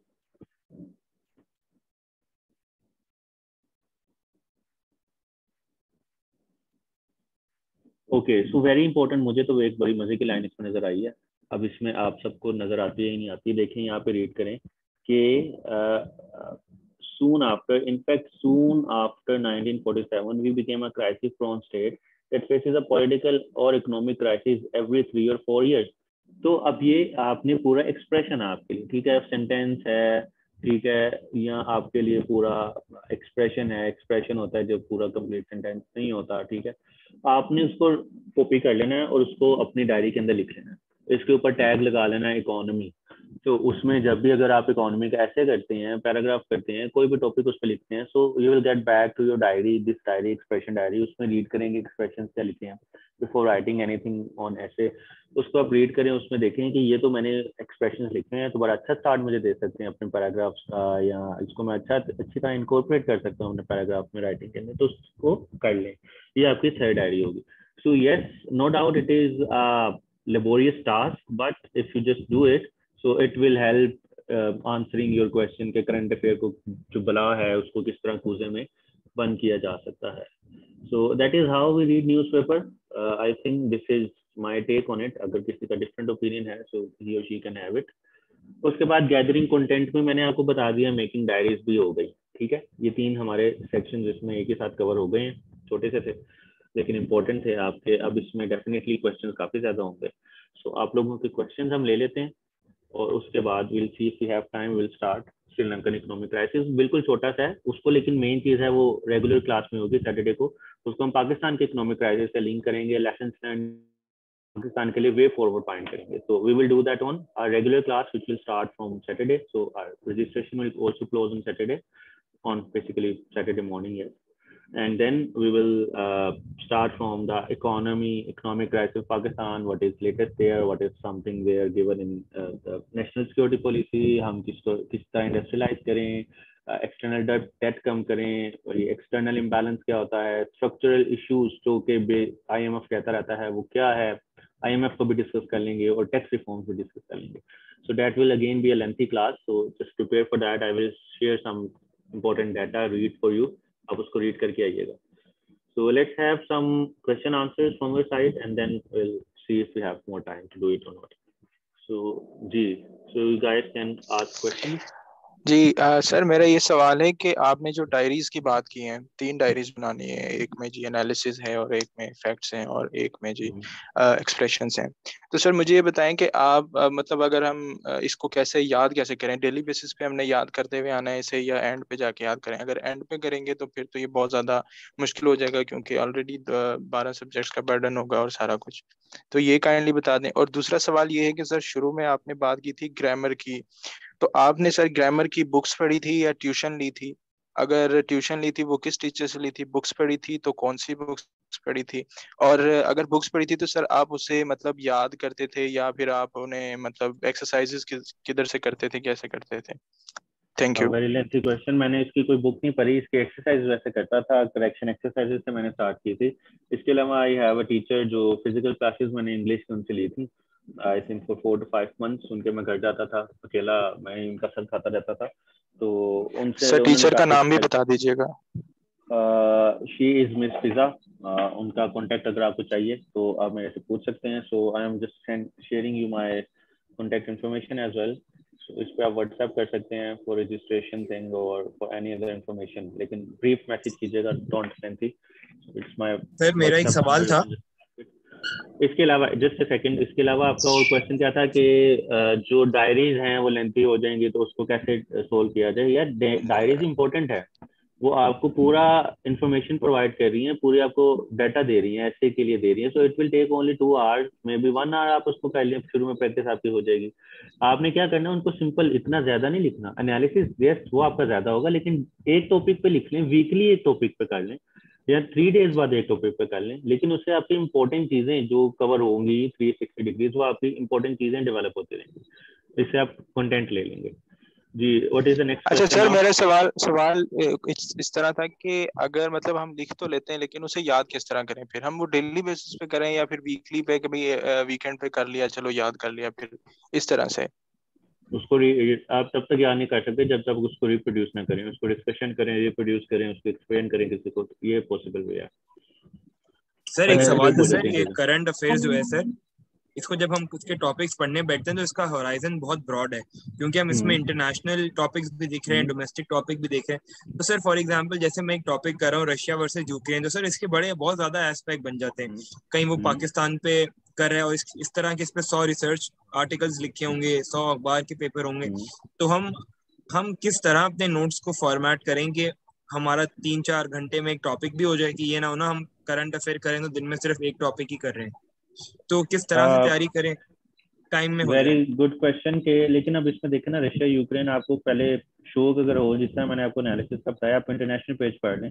आप आहिस्ता आहिस्ता डेवलप करते रहें। आप किसी एक दिन ये देख लें कि रशिया का जो है वो मिडिल ईस्ट के अंदर क्या इंटरेस्ट है। तो इस वॉर का उसमें इम्पैक्ट क्या हो सकता है? ठीक है इसी तरह पाकिस्तान की क्या उसमें इंटरेस्ट है? या नेटो का उसमें क्या इंटरेस्ट है? तो that is it is changing the whole global order this war only. So it is not a very small topic जिसको आप पूरा easily cover कर सकते हैं. A lot of information and data. So उसके लिए continuous reading required है. तो I will also try to help you in this regard कि वहाँ पे war में क्या हो रहा था, क्या interest है. तो इस तरह चीज़ों को कवर uh, किया जाएगा अच्छा काइंडली जो क्वेश्चन है थोड़ा सा कंप्लीट होने दिया करें uh, पहला क्वेश्चन का आंसर तो उसके बाद क्वेश्चन किया करें ठीक है so little bit patience show करें जी किसका नेक्स्ट क्वेश्चन है Sir, I have a question, um, and the question is कि is it very necessary कि हम हर रोज न्यूज़पेपर पढ़ें या हम किसी ऑल्टरनेटिव के पीछे भी जा सकते हैं जैसे जर्नल्स वगैरह क्योंकि they also provide a good analysis. Very good question कि मैंने तो सिर्फ़ आपको लिमिटेड रखा न्यूज़पेपर पे बट मैं रीड करता था इकोनॉमिक्स का मैगजीन रीड करता था इसके अलावा फॉरेन अफेयर्स का मैगजीन रीड करता था, इस तरह काफ़ी चीज़ें रीड करता था। लेकिन अब क्वेश्चन ये है कि आप सबको अगर हार्ड फॉर्म में चाहिए ये ये सारे आर्टिकल्स कंटेंट वगैरह तो एक C S S Pakistan I think online available है उनके पास, में भी उनसे लेता रहता हूँ चीज़ें। तो आप उनसे ले सकते हैं सी एस एस पाकिस्तान, आप अगर चेक कीजिएगा इंस्टाग्राम पे फेसबुक पे तो इनका जो है वो सारी अवेलेबल होती हैं शॉर्ट फॉर्म में ना, ये आपको आर्टिकल्स मिल जाएँगे इकोनॉमिस्ट के फॉरेन अफेयर्स जो टू मंथली होता है वो इनका इन्होंने कंपाइल करके प्रिंट करके रखा होता है so they can deliver you home आपके होम डिलीवरी करवा सकते हैं। सो मैं ये भी चीज़ें रीड करता था एडिशनली सर सर एक सवाल ये था। सर आपसे पढ़ना डिफरेंशिएट किस तरह करेगा जब हर चीज़ यूट्यूब पे पड़ी हुई है और ये आप कह रहे हैं कि आप सारा मटेरियल खुद ऑर्डर कर सकते हैं। तो इसमें जब टॉपिक तैयार करना है तो बंदा खुद से भी कर सकता है तो आप कैसे डिफरेंस क्रिएट करेंगे? हाँ वेरी गुड क्वेश्चन कि मैं इसको कितना डिफ्रेंशिएट करूँगा? मैं तो भैया आप सबको बेसिक चीज़ें बताऊँगा कि ये टॉपिक कवर करवाऊँगा कि टॉपिक हम तरह कवर कर सकते हैं उसके बाद मैं आपको एनालिसिस करने के लिए दूँगा क्वेश्चन आप उस पर एनालिसिस करें आप उसकी वैल्यूएशन करवाएँ. तो इसमें मैं ये कर सकता हूँ। इसके अलावा आप देख लें it is your own everyone has own opinion उस पर आपकी अपनी मर्ज़ी आप करें ना करें. सो so, मेरी ओरिएंटेशन क्लास तो सिंपल एक बेसिक इंफॉर्मेशन के लिए है. It is yes it is my orientation for current affairs as well but I am not restricting you कि आप सिर्फ़ मेरे से ही पढ़ें आप अपने ओन पे भी कर सकते हैं। But I am just providing you these three things or four things sir आप इवैल्यूएशन कितनी करेंगे वीक में? मतलब मैक्सिमम एक बंदा कितनी इवैल्यूएशन करवा सकता है? क्योंकि सर आई पर्सनली असाइनमेंट की होती है। हर असाइनमेंट की आपकी इवैल्यूएशन होगी ना। जो असाइनमेंट आप सेंड करेंगे। और खुद से कोई बंदा पास पेपर अटेम्प्ट करके आपसे चेक करवाना चाहे तो विल यू डू दैट नहीं मेरे पास जो मेरे स्टूडेंट्स होंगे सिर्फ़ मैं उनको ही ऑफ़र करता हूँ। हर किसी को ऑफ़र नहीं, नहीं करूँगा ये। सर ऑब्वियसली स्टूडेंट्स जो आपका कोर्स ज्वाइन करेंगे तो उनकी जो आप हैं अपना एवेल्यूएशन करके देंगे पास पेपर की? हाँ पास पेपर जब सेशन हमारा कंप्लीट होगा उसके बाद पूरा मॉक होगा उसके पेपर एवेल्यूएशन होगी पूरे मॉक एग्ज़ाम के। लास्ट टाइम मैंने कंडक्ट किया था उसके लिए सेपरेट सेशन हुआ था उसको डिस्कशन करने के लिए जिन जिन सर एक तो आप एक तो आप मॉक लेते हैं ना जिसमें आप वो करवाते हैं लेकिन एक बंदा खुद से फॉर एग्जांपल मैं 2016 17 का पास पेपर अटेम्प्ट करवा के in the middle of the course आपसे नहीं आपने 2016 17 का क्यों करवाना? है करंट अफेयर्स का ये पाकिस्तान अफेयर्स का नहीं है। तो वो जो करंट टॉपिक्स होंगे वही आप एवेलुएट करवाएँ तो बेहतर है। या कोई भी करंट टॉपिक अगर एवेलुएट कराएँ तो आप कर देंगे। जो मैं असाइनमेंट्स दूँगा वो मैं करूँगा। इसके अलावा जो मॉक्स होंगे वो भी मैं करूँगा। अपने ओन पे आप फिर मेरे से डिस्कशन कर सकते हैं ना मेरे कुछ स्टूडेंट्स अच्छे जो होते हैं काम करते हैं उनको मैं ये ऑफ़र करता हूँ। हर स्टूडेंट को तो नहीं कर सकता ऑफ़र जो अच्छे काम करेंगे उन्हीं को ये फिर प्रिविलेज मिलेगा जो स्टूडेंट्स काम करके दिखाते हैं। क्योंकि मेरे पास अभी तक दस बारह बारह ही होते हैं स्टूडेंट जो अच्छे करते हैं।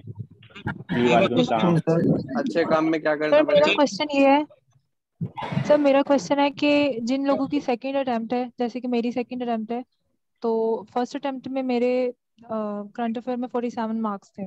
तो पाकिस्तान अफेयर जिसका मुझे लगता था कि कंपैरेटिवली करंट अफेयर से मेरी हाँ। तैयारी ज़्यादा अच्छी नहीं है लेकिन उसमें मेरे 65 मार्क्स हैं।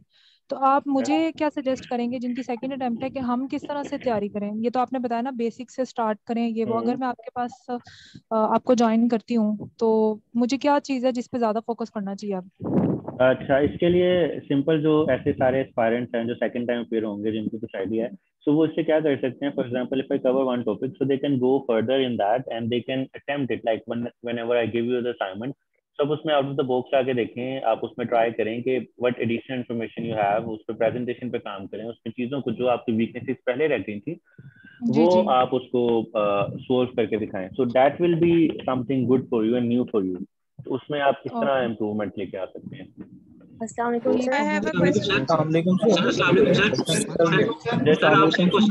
सर आपसे क्वेश्चन एक करना था कि लास्ट जिस जो लास्ट क्वेश्चन किया था ब्रदर ने आपसे इवैल्यूएशन का तो Shahzad I will take your question later on अभी बाकियों के क्वेश्चन ले लें Shahzad I will take your next question अभी हलीमा का क्वेश्चन है जो हैंड रेज करें wait a second wait a second I will ask I will now take your question one by one whoever raised the hand i will take your question ठीक है so, सबसे पहले हलीमा का question है जिस जिसके hand raise हैं आप वो रेज करें हैंड और I will take your question it's not like now random it is making a lot of mess please so Halima question बताएँ अपना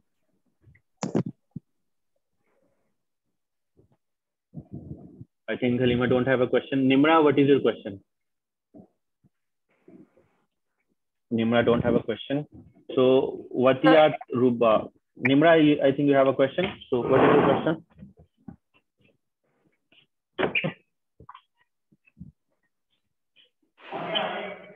So Nimra, what is your question? Welcome, Sham. हाँ जी no sir मैंने ये पूछना था कि जो स्टूडेंट 2024 या 2025 के अटेम्प्ट में होना चाहते हैं जैसे कि अभी हम स्टूडेंट है हमारी एज भी मतलब 21 नहीं हुई। तो हमें इसी साल करंट अफेयर का आपका कोर्स जो है उसे ज्वाइन करना चाहिए या करंट अफेयर की प्रिपरेशन स्टार्ट कर देनी चाहिए या लाइक uh, like 2024 या 2025 में तो चेंज um, हो जाएगा सिनेरियो uh, क्या बिल्कुल that is a very relevant question उन स्टूडेंट्स के लिए भी जो बिल्कुल अभी बिगनर हैं। So I think this session in my point of view will help you कि आप किस तरह अपनी चीज़ों को एनालाइज करते हैं uh, चीज़ों को ओरिएंट करते हैं डायरेक्शन किस तरह सेट करते हैं प्रेजेंटेशन को आपको हेल्पफुल हेल्प uh, मिल जाएगी। ठीक है आपको नोट्स मेकिंग आ जाएगी। So in the long way it will help you in other subject as well so please be brief in your question. We have a limited time and a lot of questions are there. So अगर सारों से request की है कि personal को information चाहिए तो आप व्हाट्सएप कर सकते हैं।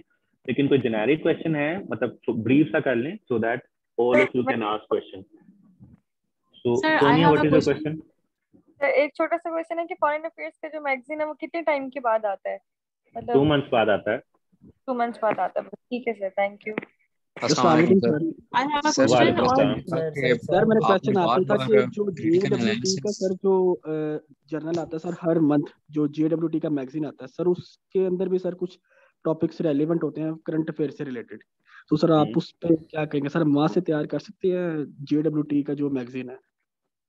आपको मैंने ये नहीं बताया कि आप कौन सा रीड करें कौन सा नहीं करें।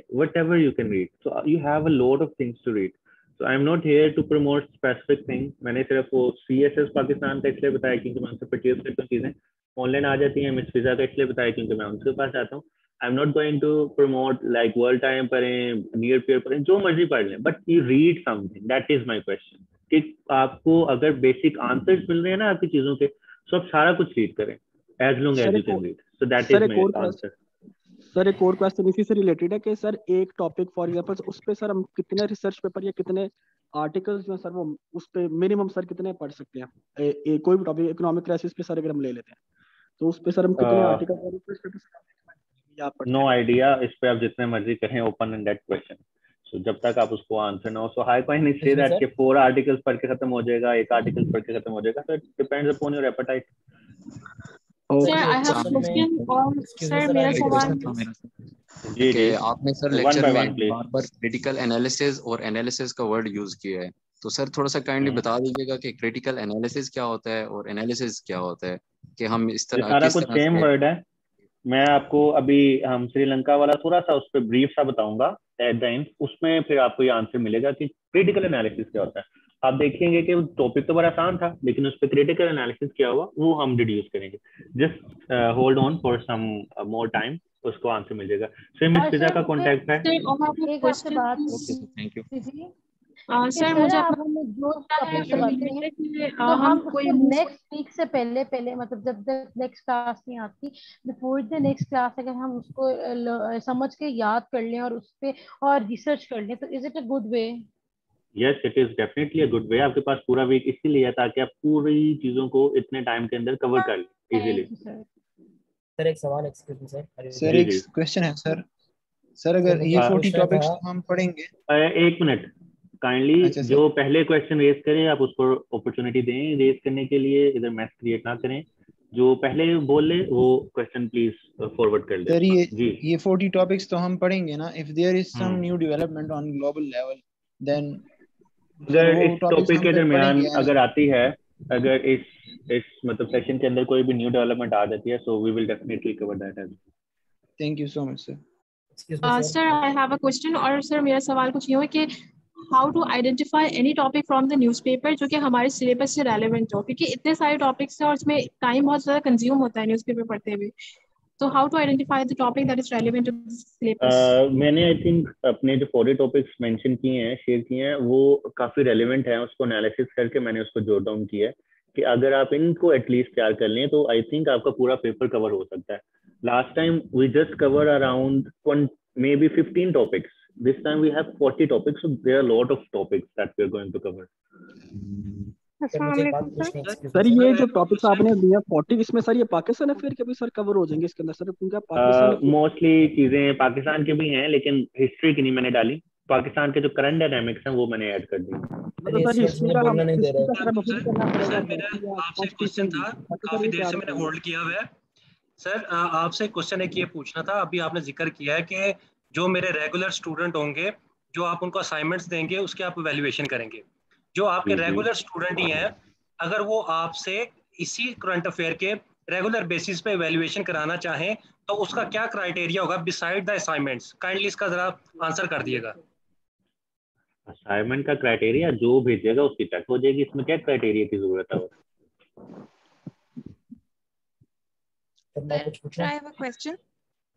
सर मैंने आपसे पूछना था कि how much is enough sir तो सबकी चेक करते हैं। ऐसा नहीं हुआ कभी हमने सर को भेजा हो तो सर ने उसको चेक नहीं किया हो सर तो इवैल्यूएशन करके। सर हाउ मच और क्वेश्चन जो पेपर है वो करंट अफेयर्स है। तो उसका बैकग्राउंड सेक्शन कितने परसेंट होना चाहिए? 40 60 परसेंट हो 50 50 परसेंट हो या हमें सिर्फ़ करंट अफेयर्स पे ही डायरेक्ट जंप ऑन कर देना चाहिए? हिना आई थिंक ये जो 40 50 वाला कॉन्सेप्ट है, ये तो मैंने वैसे कभी क्वेश्चन खुद अंडरस्टैंड नहीं किया। इसके डायनामिक्स के करंट 30 40 हो 40 50 हो, बस आपको टॉपिक आना चाहिए, ठीक है? आपको जो क्वेश्चन हो, आपको आंसर आना चाहिए। इट डजेंट मैटर कि सारी हिस्ट्री हो मतलब ऐसा तो नहीं हो सकता। हिस्ट्री होगी तो आपको कुछ चीज़ें समझ आएँगी। अगर आपको मैं बता दूँ, पाकिस्तान इकोनॉमिक क्राइसिस अभी जो है, वो करंट अकाउंट डेफिसिट है हमारा तो आप कह देंगे जी करंट अकाउंट डेफिसिट 2022 में इतना है। But how do you know कि करंट अकाउंट डेफिसिट किस तरह है? कौन से स्ट्रक्चरल फ्लॉज हैं हमारी इकोनॉमी के? उसको ट्रेस करने के लिए आपको पूरी हिस्ट्री देखनी पड़ेगी। आपको 1960s में देखना पड़ेगा ऐसी कौन सी पॉलिसी आई। फिर सेवेंटीज की एटीज की उसके बाद टू में ऐसा क्या हुआ? ये अचानक से नहीं निकल आया कि इकोनॉमी का इतना बड़ा इशू आ गया। इसके पीछे बैकग्राउंड है। तो बैकग्राउंड जब तक आपको नहीं पता होगा आप सोल्यूशन ही नहीं दे सकते। आप कैसे कहेंगे कि जी जाके आप इंपोर्ट अपने फॉर एग्जांपल अगर आपकी कोई पॉलिसी है कि इंपोर्ट खत्म कर दें इंपोर्ट पे बैन लगा दें। So do you think import ban can help pakistan in ameliorating its economic crisis? No. Because you don't know the solution. आपको सोल्यूशन के लिए रूट कॉज का ही नहीं पता तो आप उसको सोल्यूशन कैसे दे सकते हैं? Okay okay. और सर मैंने आपसे पूछना था कि टर्मिनोलॉजीज डायरेक्ट यूज़ कर दी जाए या उन टर्मिनोलॉजीज को एक्सप्लेन किया जाए उसको ऐसे टर्मिनोलॉजी को यूज़ किया जाए जैसे एक अननोन पर्सन रीड कर रहा होता है कि हमें ये माइंड में रखना चाहिए कि examiner has some background knowledge about this तो हम उसके बारे में कोई टर्म यूज़ करेंगे तो वही आई अंडरस्टैंड योर क्वेश्चन देखें अब आप मेरे से जब वैल्यूएशन करवाएँगे ना I am not that much learn ठीक है? मुझे बेसिक चीज़ों का idea I am not saying कि मैं चाहता चाहता लेकिन अगर मैं आपको रीड करता हूँ ना आपके क्वेश्चन को मुझे देखते ही पता लग जाएगा कि आपने क्या चीज़ लिख है ठीक है? तो एक आपको आइडिया हो जाएगा कि ये मिस्टेक्स हैं जो हमने वहाँ पे नहीं करनी। अभी आपको कैसे पता लगेगा कि ये टर्म आपने लिखनी है या नहीं लिखनी you don't have any reference अगर आपने वैल्यूएशन करवाई नहीं है अगर आपको आइडिया नहीं है तो आप एक रेफरेंस नहीं क्रिएट कर सकते। सो so, एक रेफरेंस क्रिएट करें मतलब कंपैरिजन के लिए उसके बाद फिर डिसाइड करें। हर एक का पर्सन टू पर्सन एक चीज़ सो मुख्तलिफ़ तरीके से लिखी जा सकती है। लेकिन हम कौन सा अप्रोप्रिएट वर्ड यूज़ करेंगे उसको कौन किस तरह कैची बनाएँगे प्रेजेंटेशन इंप्रूव करेंगे। So this will help you in gaining marks ठीक है? एवरी वन राइट के पाकिस्तान की इकोनॉमी मसले है क्या? But how you write it आपकी जो प्रेजेंटेशन होगी it makes a lot of difference so this is my point okay? So that is i want to establish here. Current affair में outline में क्लास में sir नहीं नहीं outline की ज़रूरत नहीं होती। सर क्वेश्चन आंसर जब हम क्वेश्चन अटेम्प्ट करते हैं तो उसके अंदर आंसर की लेंथ कितनी होनी चाहिए एक ही सवाल है। और शॉर्ट हेडिंग हेडिंग्स का कितना मतलब आप कहने के इसके अंदर एवरेज आता है या फॉल है? Can you please repeat the question sir मैं ये कहना चाह रहा हूँ कि आंसर्स की जो क्वेश्चन आपसे पूछा जाए करंट अफेयर्स में पाकिस्तान अफेयर्स में उनकी मिनिमम से लेकर मैक्सिमम लेंथ कितनी होनी चाहिए? अच्छा यार ये तो जब असाइनमेंट हम करेंगे ना उसके साथ डिस्कस कर लिया करेंगे। अभी ना सोचें कि उसकी लेंथ कितनी हो। अभी बस कर लें। वो बाद में आपको पता लग जाएगा आइडिया है ना? खुद ही आहिस्ता आहिस्ता हो जाएगा। तो सर छोटे छोटे आपने एक बात की थी कि जो क्या आप असाइनमेंट प्रोवाइड करेंगे वो आप वीकली बेसिस पर चेक करेंगे। हाँ जी। अच्छा तो सर आप कब से ये स्टार्ट करेंगे असाइनमेंट से ना? जो नेक्स्ट हमारी क्लास होगी उसमें से ही? हाँ जी ये सैटरडे से जो क्लासेस हैं आपको असाइनमेंट्स मिलना शुरू हो जाएँगे। हर क्लास के बाद असाइनमेंट होती है। वो हर टॉपिक के साथ होती है कोई के साथ मल्टीपल भी होती है। अब कोई स्टूडेंट होते हैं कुछ करते हैं कुछ नहीं करते so depends upon you I don't have any like इसके मुझे कोई बेनिफिट नहीं मिलेगा कि जी जितने बच्चों ने क्वेश्चन कर लिया अटेम्प्ट तो मेरी जो है अच्छा हो गया सीन मुझे तो फ़ायदा होगा ना करें आप सब अटेम्प्ट उसको। मेरे लिए तो फ़ायदा ही फ़ायदा है। अगर आप बेफिक्र हो जाए खून से लिखना पड़ा तो भी अटेम्प्ट करेंगे। वेरी गुड वेरी गुड जी बताएँ। सर मेरा क्वेश्चन है कि अब जैसे हम फ्रेशर्स हैं तो हमें करंट अफेयर्स जैसे कि बहुत ब्रॉड चीज़ है तो हमें कहाँ से शुरू करना चाहिए? और अगर हम एक टॉपिक शुरू कर रहे हैं उस पर डिफरेंट पीपल के बहुत से ओपिनियंस होंगे तो हमें फिर इस किस तरह रीडिंग करनी चाहिए? क्योंकि फिर तो हम कंफ्यूज हो जाएँगे इतने आर्टिकल्स पढ़ के और हमें शुरू कहाँ से करना चाहिए करंट अफेयर्स को? वेरी गुड क्वेश्चन आपको शुरू कहाँ से करना चाहिए अगर आपने शुरू करना है ना ये टॉपिक बाय टॉपिक मेरी लिस्ट ले लें if you are not joining my session for example आप ये लिस्ट टॉपिक्स के ले लें आपको अवेलेबल होंगी गूगल ड्राइव पे लिंक शेयर किया हुआ है। आप ये लिंक ले लें इसमें टॉपिक्स देख लें एक टॉपिक को पकड़ लें ठीक है? अगर एटीन अमेंडमेंट है ना आपको जस्ट आइडिया दे रहा हूँ एटीन अमेंडमेंट है। आप देखेंगे जी एटीन अमेंडमेंट क्यों हुई? इसके अंदर ऐसी क्या क्या चीज़ें हैं जो एटीन अमेंडमेंट में हुई? और इसके बाद इसका इम्पैक्ट क्या हुआ? तो करो। ठीक है? तो ये चीज़ आप लोगों ने कवर करनी है।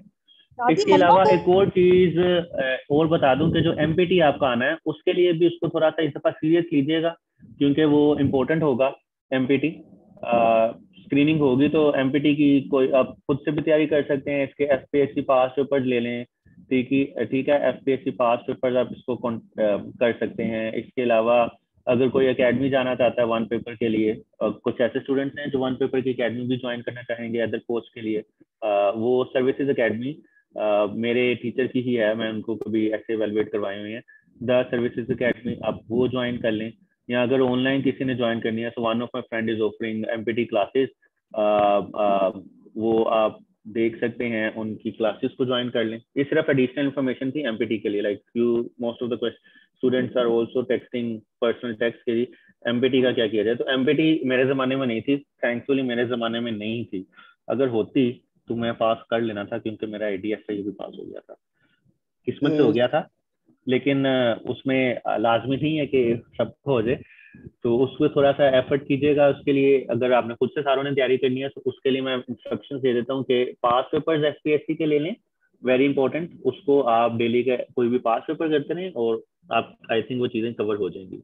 तो ये अभी आने वाला है अक्टूबर में तो इस वजह से थोड़ा इंपॉर्टेंट था इस पर भी थोड़ा सा ब्रीफ कर दिया जाए।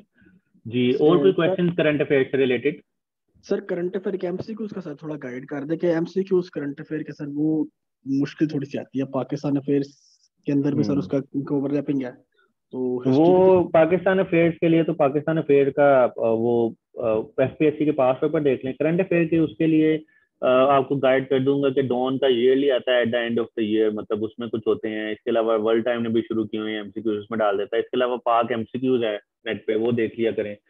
तो इस तरह हम चीज़ों को कर सकते हैं। अच्छा जी। अब हम बात कर लेते हैं कि जी क्वेश्चन पूछे जा रहे हैं कि जी श्रीलंका इकोनॉमिक क्राइसिस बता दें। चलिए जी हम श्रीलंका इकोनॉमिक क्राइसिस स्टार्ट करते हैं। थोड़ा सा ही है। It will take not more time on this so हम स्टार्ट करते हैं कि श्रीलंका इकोनॉमिक क्राइसिस हुआ क्या है? आजकल उसकी करंट डेवलपमेंट क्या है? ठीक है? और उसके बाद हम इसको लिंक करेंगे पाकिस्तान के साथ।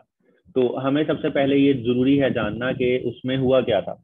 सो so, श्रीलंका में जो इकोनॉमिक क्राइसिस है आपको ये टाइमलाइन नज़र आ रही होगी। अगर हम टाइमलाइन उसमें डिस्कस करें थोड़ा सा हिस्टोरिकल परस्पेक्टिव तो उसमें 2009 के अंदर उधर जो है वो वॉर हुई थी सिविल वॉर वहाँ पे ना एटलीस्ट जो दो वहाँ पे ना ग्रुप्स रहते हैं एथनिक ग्रुप्स ठीक है एक ग्रुप का नाम है मैं आपको बता देता हूँ.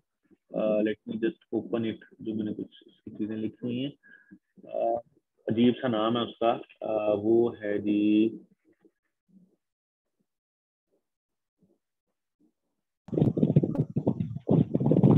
वैसे थोड़ा सा जनरल नॉलेज के लिए आपके पास है। मे बी किसी जनरल नॉलेज के पेपर में आ जाए। इम्पोर्टेंट शायद हो जाए। तो उसमें इधर गया। एक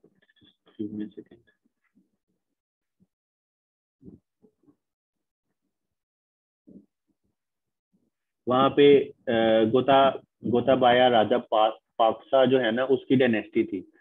राजा पाकसास, वो एक भाई प्रेसिडेंट था और एक भाई उसका जो है वो प्राइम मिनिस्टर था, जिस तरह हमारे में भी है कुछ, लेकिन पॉलिटिकल आपके affiliation I don't know about that so वहाँ पे दो बेसिक जो है ना वो एथनिसिटीज रहती हैं। अच्छा जी हाँ जी, एक है, एक एथनिसिटी का नाम है सिन एलिसी और दूसरे कुछ तमिल्स हैं उसके अंदर, और कुछ उसमें मुस्लिम्स हैं। अब जो इनकी मेजोरिटी है, वो इनकी है। इनकी कितनी मेजोरिटी है? इनकी तकरीबन 75 परसेंट मेजोरिटी है। उसमें तामिल कितने हैं? तामिल्स हैं, उसमें तकरीबन 15 परसेंट और वहाँ पे मुस्लिम हैं अराउंड 10 परसेंट ठीक है तो वहाँ पे डिकेड्स ओल्ड वहाँ पे सिविल वॉर हुई 2009 में। उस सिविल वॉर के नतीजे में क्या हुआ? एटलीस्ट वहाँ पे जो है, ये जो गवर्नमेंट थी, वो जीत गई और वहाँ पे तामिल जो थे, वो उनकी मेजोरिटी होती थी गवर्नमेंट पोस्ट में भी गवर्नमेंट सर्विस में भी। इसी तरह जो बाकी फॉरेन जो उनके एक्सपर्ट थे, वो भी तामिल्स मोस्टली होते थे। उनकी मेजोरिटी मतलब 15 परसेंट से ज़्यादा होती थी। So they try to push them down they try to push Tamils down तो वहाँ पे उनकी, उन्होंने मेजोरिटी को मतलब जो उनकी like thirty five percent majority थी, उनको उसने बिल्कुल और माइनॉरिटी में कन्वर्ट कर दिया। उसके बाद आता है twenty thousand nineteen two thousand nineteen अब 2019 के अंदर राजा पाकसास जो है, वो उसकी वहाँ पे हुकूमत आती है। तो वो क्या करते हैं, वो कुछ इस तरह के मिस्टेक्स करते हैं, जिस तरह, जिसकी वजह से उसकी जो श्रीलंका की इकोनॉमी है, वो आजकल क्राइसिस का शिकार है। उसमें थ्री फैक्टर्स या फोर फैक्टर्स आप कह लें, कुछ इंटरनल फैक्टर्स हैं, जो रोल प्ले करते हैं उसके इकोनॉमिक क्राइसिस के लिए। हम उसको डिवाइड कर देते हैं इंटरनल फ्रंट पे क्या है और एक्सटर्नल उसके क्या फैक्टर्स हैं, जिसकी वजह से ये क्राइसिस जनरेट हुए हैं। इंटरनल फैक्टर्स में सबसे जो इम्पोर्टेंट चीज़ है, वो है कि वहाँ पे उन्होंने टैक्स रिलीफ प्रोवाइड किए, ठीक है? टैक्स कट कर दिए, ये पॉपुलर मैयर था पॉपुलिस्ट लीडर था ये, उसने आके आते साथ ही क्या किया? टैक्स रिलीफ कर दिए।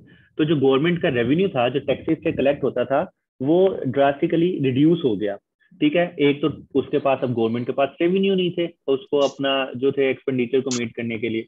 दूसरा उसने क्या किया? वहाँ पे इकोनॉमिक मिसमैनेजमेंट की गई। इकोनॉमिक मिसमैनेजमेंट कैसे की गई कि वहाँ पे नेपोटिज्म और वहाँ पे जो थी वो क्रिप्टो करेंसी क्रिप्टो करेंसी उसको कहते हैं क्रिप्टो करेंसी वहाँ पे लाई गई मतलब जो उसके जो जो भी पॉलिटिकल पार्टी आई थी, उसके जितने भी रिलेटिव थे फ्रेंड्स थे, उनको कोविटेड पोस्ट दे दी गई और अपने पर्पस के लिए उनको यूज़ किया गया। मेरिट का बिल्कुल ख्याल न रखा गया। जिसकी वजह से क्या हुआ कि वहाँ पे इकोनॉमिक मिसमैनेजमेंट स्टार्ट हो गई, वहाँ पे करप्शन और बढ़ गई और वहाँ पे जो इंपॉर्टेंट उनके क्रिटिकल डिसीज़न मेकिंग थी, वो ऑन मेरिट नहीं हुई। अब इसको हमने देखना है कि पाकिस्तान से कैसे लिंक करना है। ये थोड़ा सा आप इसको कनेक्ट करें, ये इसको सेपरेट हम कंसिडर नहीं कर सकते चीज़ों को। तीसरी चीज़ उनकी क्या हुई? उन्होंने जब उनके पास जो रिज़र्व थे फॉरेन रिज़र्व वो कम होना शुरू हो गए, ये टाइमलाइन मैं आपको डिस्कस कर रहा हूँ तो उन्होंने इम्पोर्ट बैन कर दी किसकी? फर्टिलाइज़र की। अब उन्होंने फर्टिलाइज़र की इंपोर्ट को क्या कर दिया? बैन कर दिया। अब वहाँ पे जो थी वो उनकी एग्रीकल्चर एग्रीकल्चर कंट्रीब्यूट करती है अराउंड फिफ्टीन परसेंट में भी उनकी इकोनॉमी को। लेकिन उसके अंदर आप देखें, वहाँ पे एम्प्लॉयमेंट कितनी है? एग्रीकल्चर में तो इतनी सी कंट्रीब्यूशन है, लेकिन सर्विसेज़ सेक्टर उनके सबसे ज़्यादा contribution around fifty five fifty six percent लेकिन वहाँ पे वो मैन पावर कितना एम्प्लॉय करते हैं? वहाँ पे जो भी मैन पावर थे अब आपको पता है कि अगर फार्मर्स के लिए फर्टिलाइज़र ही महँगी हो जाए अवेलेबल ना हो so how they can grow their crops और वो किसकी तरफ़ कन्वर्ट हो गए? ऑर्गेनिक फ़ार्मिंग की तरफ़। तो वहाँ से क्या हुआ कि वहाँ से फ़ूड क्राइसिस जो है वो जनरेट होना शुरू हो गया। तो आहिस्ता आहिस्ता जब ये फैक्टर्स जो हैं वो आ, मिलते गए और एक्सटर्नली क्या हुआ? एक्सटर्नली क्या हुआ कि जी वहाँ पे आप देखते हैं कि जो श्रीलंका है it is also a battle ground for China versus India rivalry ठीक है? इसको जियो के तनाजुर में देखा जाए तो चाइना ने वहाँ पे इन्वेस्टमेंट की हुई है मेगा प्रोजेक्ट्स पे, और इंडिया जो है, वो यूएस के बिहाफ पे श्रीलंका को सपोर्ट करता है, ठीक है? तो जब चाइना ने वहाँ पे प्रोजेक्ट्स लगाए जिसमें पाकिस्तान में भी चाइना लगा रहा है, श्रीलंका में लगाए गए तो डेप्ट पे उन, उसको दिए गए ना, श्रीलंका पे। तो श्रीलंका डेट रीपे नहीं कर सका, ठीक है? तो रिस्ट्रक्चरिंग की गई। एक तो उस पे बैलेंस ऑफ़ पेमेंट पे इम्पैक्ट हुआ। अब इसमें क्वेश्चन है कि बैलेंस ऑफ़ पेमेंट क्या होता है? अब बैलेंस ऑफ़ पेमेंट ये होता है कि जो आपका एक्सटर्नल अकाउंट है सारा, अगर आपके पास टोटल जितना भी आप इंपोर्ट कर रहे हैं ना, जितनी करेंसी ले रहे हैं, सारा कुछ मिला के रेमिटेंसेज मिला के, और जितना बाहर भेज रहे हैं, उसका बैलेंस अगर आपके पास पॉजिटिव में आता है तो आप सरप्लस में होते हैं। अगर नेगेटिव में आता है मतलब आप सारा कुछ रेमिटेंस मिला के ज़्यादा इम्पोर्ट कर रहे हैं चीज़ों को और कम एक्सपोर्ट कर रहे हैं तो आपका बैलेंस ऑफ़ पेमेंट क्राइसिस बढ़ जाता है। अब उसके अंदर ये फॉरन रीपेमेंट भी शामिल है डेट रीपेमेंट तो चाइना ने उससे रीपेमेंट मांगी गई तो श्रीलंका के पास नहीं थी। अब यहाँ पे बैटल ग्राउंड शुरू होता है यूएस वर्सेस चाइना अब आपने देखा होगा कि जी, ये इसको श्रीलंका को एग्ज़ाम्पल लेके कहते हैं कि चाइना फेल हो गया, उसके प्रोजेक्ट फेल हो गए हैं। तो ये उसका भी बैटल ग्राउंड है। ठीक है, एक इम्पैक्ट ये आया डेट रीपेमेंट का, ठीक है? अब हम उसको डिस्कस नहीं कर रहे अभी यूएस चाइना रेवलरी को, लेकिन उसके अंदर एक ये पॉइंट अब जियो के बेस पे ये प्रेजेंट किया जा सकता है। जो स्ट्राइकिंग फैक्टर था वो था कोविड और एक और इंटरनल फैक्टर था वो था ईस्टर बॉम्बिंग जब ईस्टर बॉम्बिंग हुई वहाँ पे, आपको पता है कि वहाँ पे जो थे वो चर्चिस के अंदर ब्लास्ट हुए, और उससे क्या हुआ? उससे सारा जो उनका टूरिज़्म था, वहाँ पे मेन जो इंडस्ट्री थी सर्विसेज़ इंडस्ट्री का मेन प्लेयर था टूरिज़्म सेक्टर अब टूरिज़्म सेक्टर बैठ गया, ठीक है? उनकी रिलायंस थी एक टूरिज़्म पे, एक उनकी रिलायंस थी रेमिटेंस पे, ठीक है? वो भी बैठ गई कोविड की वजह से। तो इन दोनों की वजह से क्या हुआ? स्टो बॉम्बिंग की वजह से टूरिज़्म बैठ गई कोविड की वजह से रेमिटेंस बैठ गई। और जो last nail in the coffin था, वो था Russia Ukraine war the war in Russia and Ukraine किसी ने क्वेश्चन किया था कि उसका इम्पैक्ट क्या होता है? अब ये देखें, उसका इम्पैक्ट यहाँ पे भी होता है। जब ये वॉर हुई तो फ्यूल की प्राइसेस बढ़ गई, ठीक है? इंटरनेशनली फ़ूड क्राइसिस प्रोड्यूस हो गया, ठीक है? तो as a result of all these things अब क्या होता है श्रीलंका में? उनकी करेंसी डिवैल्यू कर जाती है, उनके रिज़र्व फॉरन रिज़र्व खत्म हो जाते हैं और वो default on the brink of default आ जाता है। तो ये चीज़ें हुई हैं श्रीलंका के अंदर। और ये उसकी सिंपल बेसिक रीजन थी। अगर आपका क्वेश्चन आता है तो वो क्वेश्चन होगा कि पाकिस्तान क्या श्रीलंका की ट्रेजेक्ट्री तो नहीं फॉलो कर रहा? कर रहा है तो पाकिस्तान को कौन से सोल्यूशन रिक्वायर्ड होंगे? तो पहले हम अगर वो समझें कि पाकिस्तान में इकोनॉमिक क्राइसिस क्या है, कि क्या पाकिस्तान उसके उसके पास को फॉलो फॉलो करेगा या नहीं तो उसके लिए हमें पहले पाकिस्तान की इकोनॉमी को देखना पड़ेगा, जो हम सैटरडे को स्टार्ट करेंगे। So this is all about your Sri Lankan economic crisis जिसका आप क्वेश्चन काफ़ी देर से कह रहे थे कि उसको एक्सप्लेन कर दिया जाए आई थिंक इससे सिंपल उसको एक्सप्लेन नहीं किया जा सकता, बिल्कुल ब्रीफ आप उसको लिख भी सकते हैं आर्गूमेंट्स में भी इम्प्लॉय कर सकते हैं, इसको ऐसे में भी यूज़ कर सकते हैं, अपने करंट अफेयर के आर्गूमेंट्स में भी आ सकता है। So I think that is it we have for Sri Lanka economic crisis इससे ज़्यादा आपको करने की ज़रूरत नहीं है रेलिवेंट नहीं है। Yes is too much about that domestic politics Rajapaksa क्या बना अगला कौन आ गया? But we don't need that okay so ये चीज़ें थी आपकी लास्ट में। अब इसके बाद आपके कोई क्वेश्चन इससे रेलिवेंट है अगर किसी को समझ नहीं आई वो कर सकता है then we are finishing sir मेरा क्वेश्चन ये था कि आप टॉपिक से रिलेटेड नोट्स प्रोवाइड करेंगे या फिर वो कुछ स्पेसिफिक टॉपिक से रिलेटेड ही होंगे? नहीं नहीं जो जो भी मैं स्लाइड्स पर आता जाऊँगा टॉपिक्स वो स्लाइड्स आपके सबके साथ शेयर होती जाएँगी। Sir I have a question आपने अभी कहा कि जो रशिया और उसकी यूक्रेन की वार उसकी वजह से जो है ना वो एक ग्लोबल क्राइसिस आया जिसकी वजह से तेल की कीमतें बढ़ गई। सर काइंडली थोड़ा सा समझा दें कि जब किसी मुल्क में दुनिया में के किसी मुल्क में जंग लगती है तो उसका असर दूसरे मुल्क पे किस तरह पड़ता है? अच्छा अच्छा क्वेश्चन आपका देखें जब एक दो मुल्कों के अंदर जंग लगती है ना एक तो देखें रशिया भी सप्लाई करता है ऑयल उस पर सैंक्शन लग गई दूसरा जो मार्केट के सेंटिमेंट्स होते हैं ना अब ऑयल कमोडिटी जो है वो महँगी हो जाती है। लोग कहते हैं वो वॉर हो गई है। चलो वो लेके रख लो, बाद में कोई कोरियर मिलेगा या नहीं मिलेगा। दूसरी जो मेन रीजन है, अब वो है यूरोप वाली। यूरोप डिपेंडेंट है रशिया पे। अब सैंक्शन रशिया पे लग रही है कि वो ऑयल नहीं ले सकता। ऑयल फिर किससे लेगा? गैस किससे लेगा? मिडिल ईस्ट से। तो वो अच्छे बायर्स हैं, ठीक है, वो अच्छे पैसे दे सकते हैं। अब फॉर एग्ज़ाम्पल एक पाकिस्तान मार्केट में चीज़ लेने जाए और वहाँ पे यूके भी बैठा हो तो यूके ज़्यादा ऑफ़र कर सकता है रेट उसके पास है पैसे तो दे सकता है, पाकिस्तान अफोर्ड नहीं कर सकता। तो मार्केट वाला क्या करेगा? डिमांड सप्लाई गैप अब उसको कहेगा डिमांड ज़्यादा हो गई है सप्लाई मेरे पास कम है। तो कमोडिटीज की प्राइसेस बढ़ा देगा। तो यही हो रहा है इंटरनेशनल मार्केट में। तो बाकी इस पे अब हम सैटरडे को डिस्कस करेंगे। फर्दर इस पे कंट्रीब्यूशन सैटरडे को होंगे।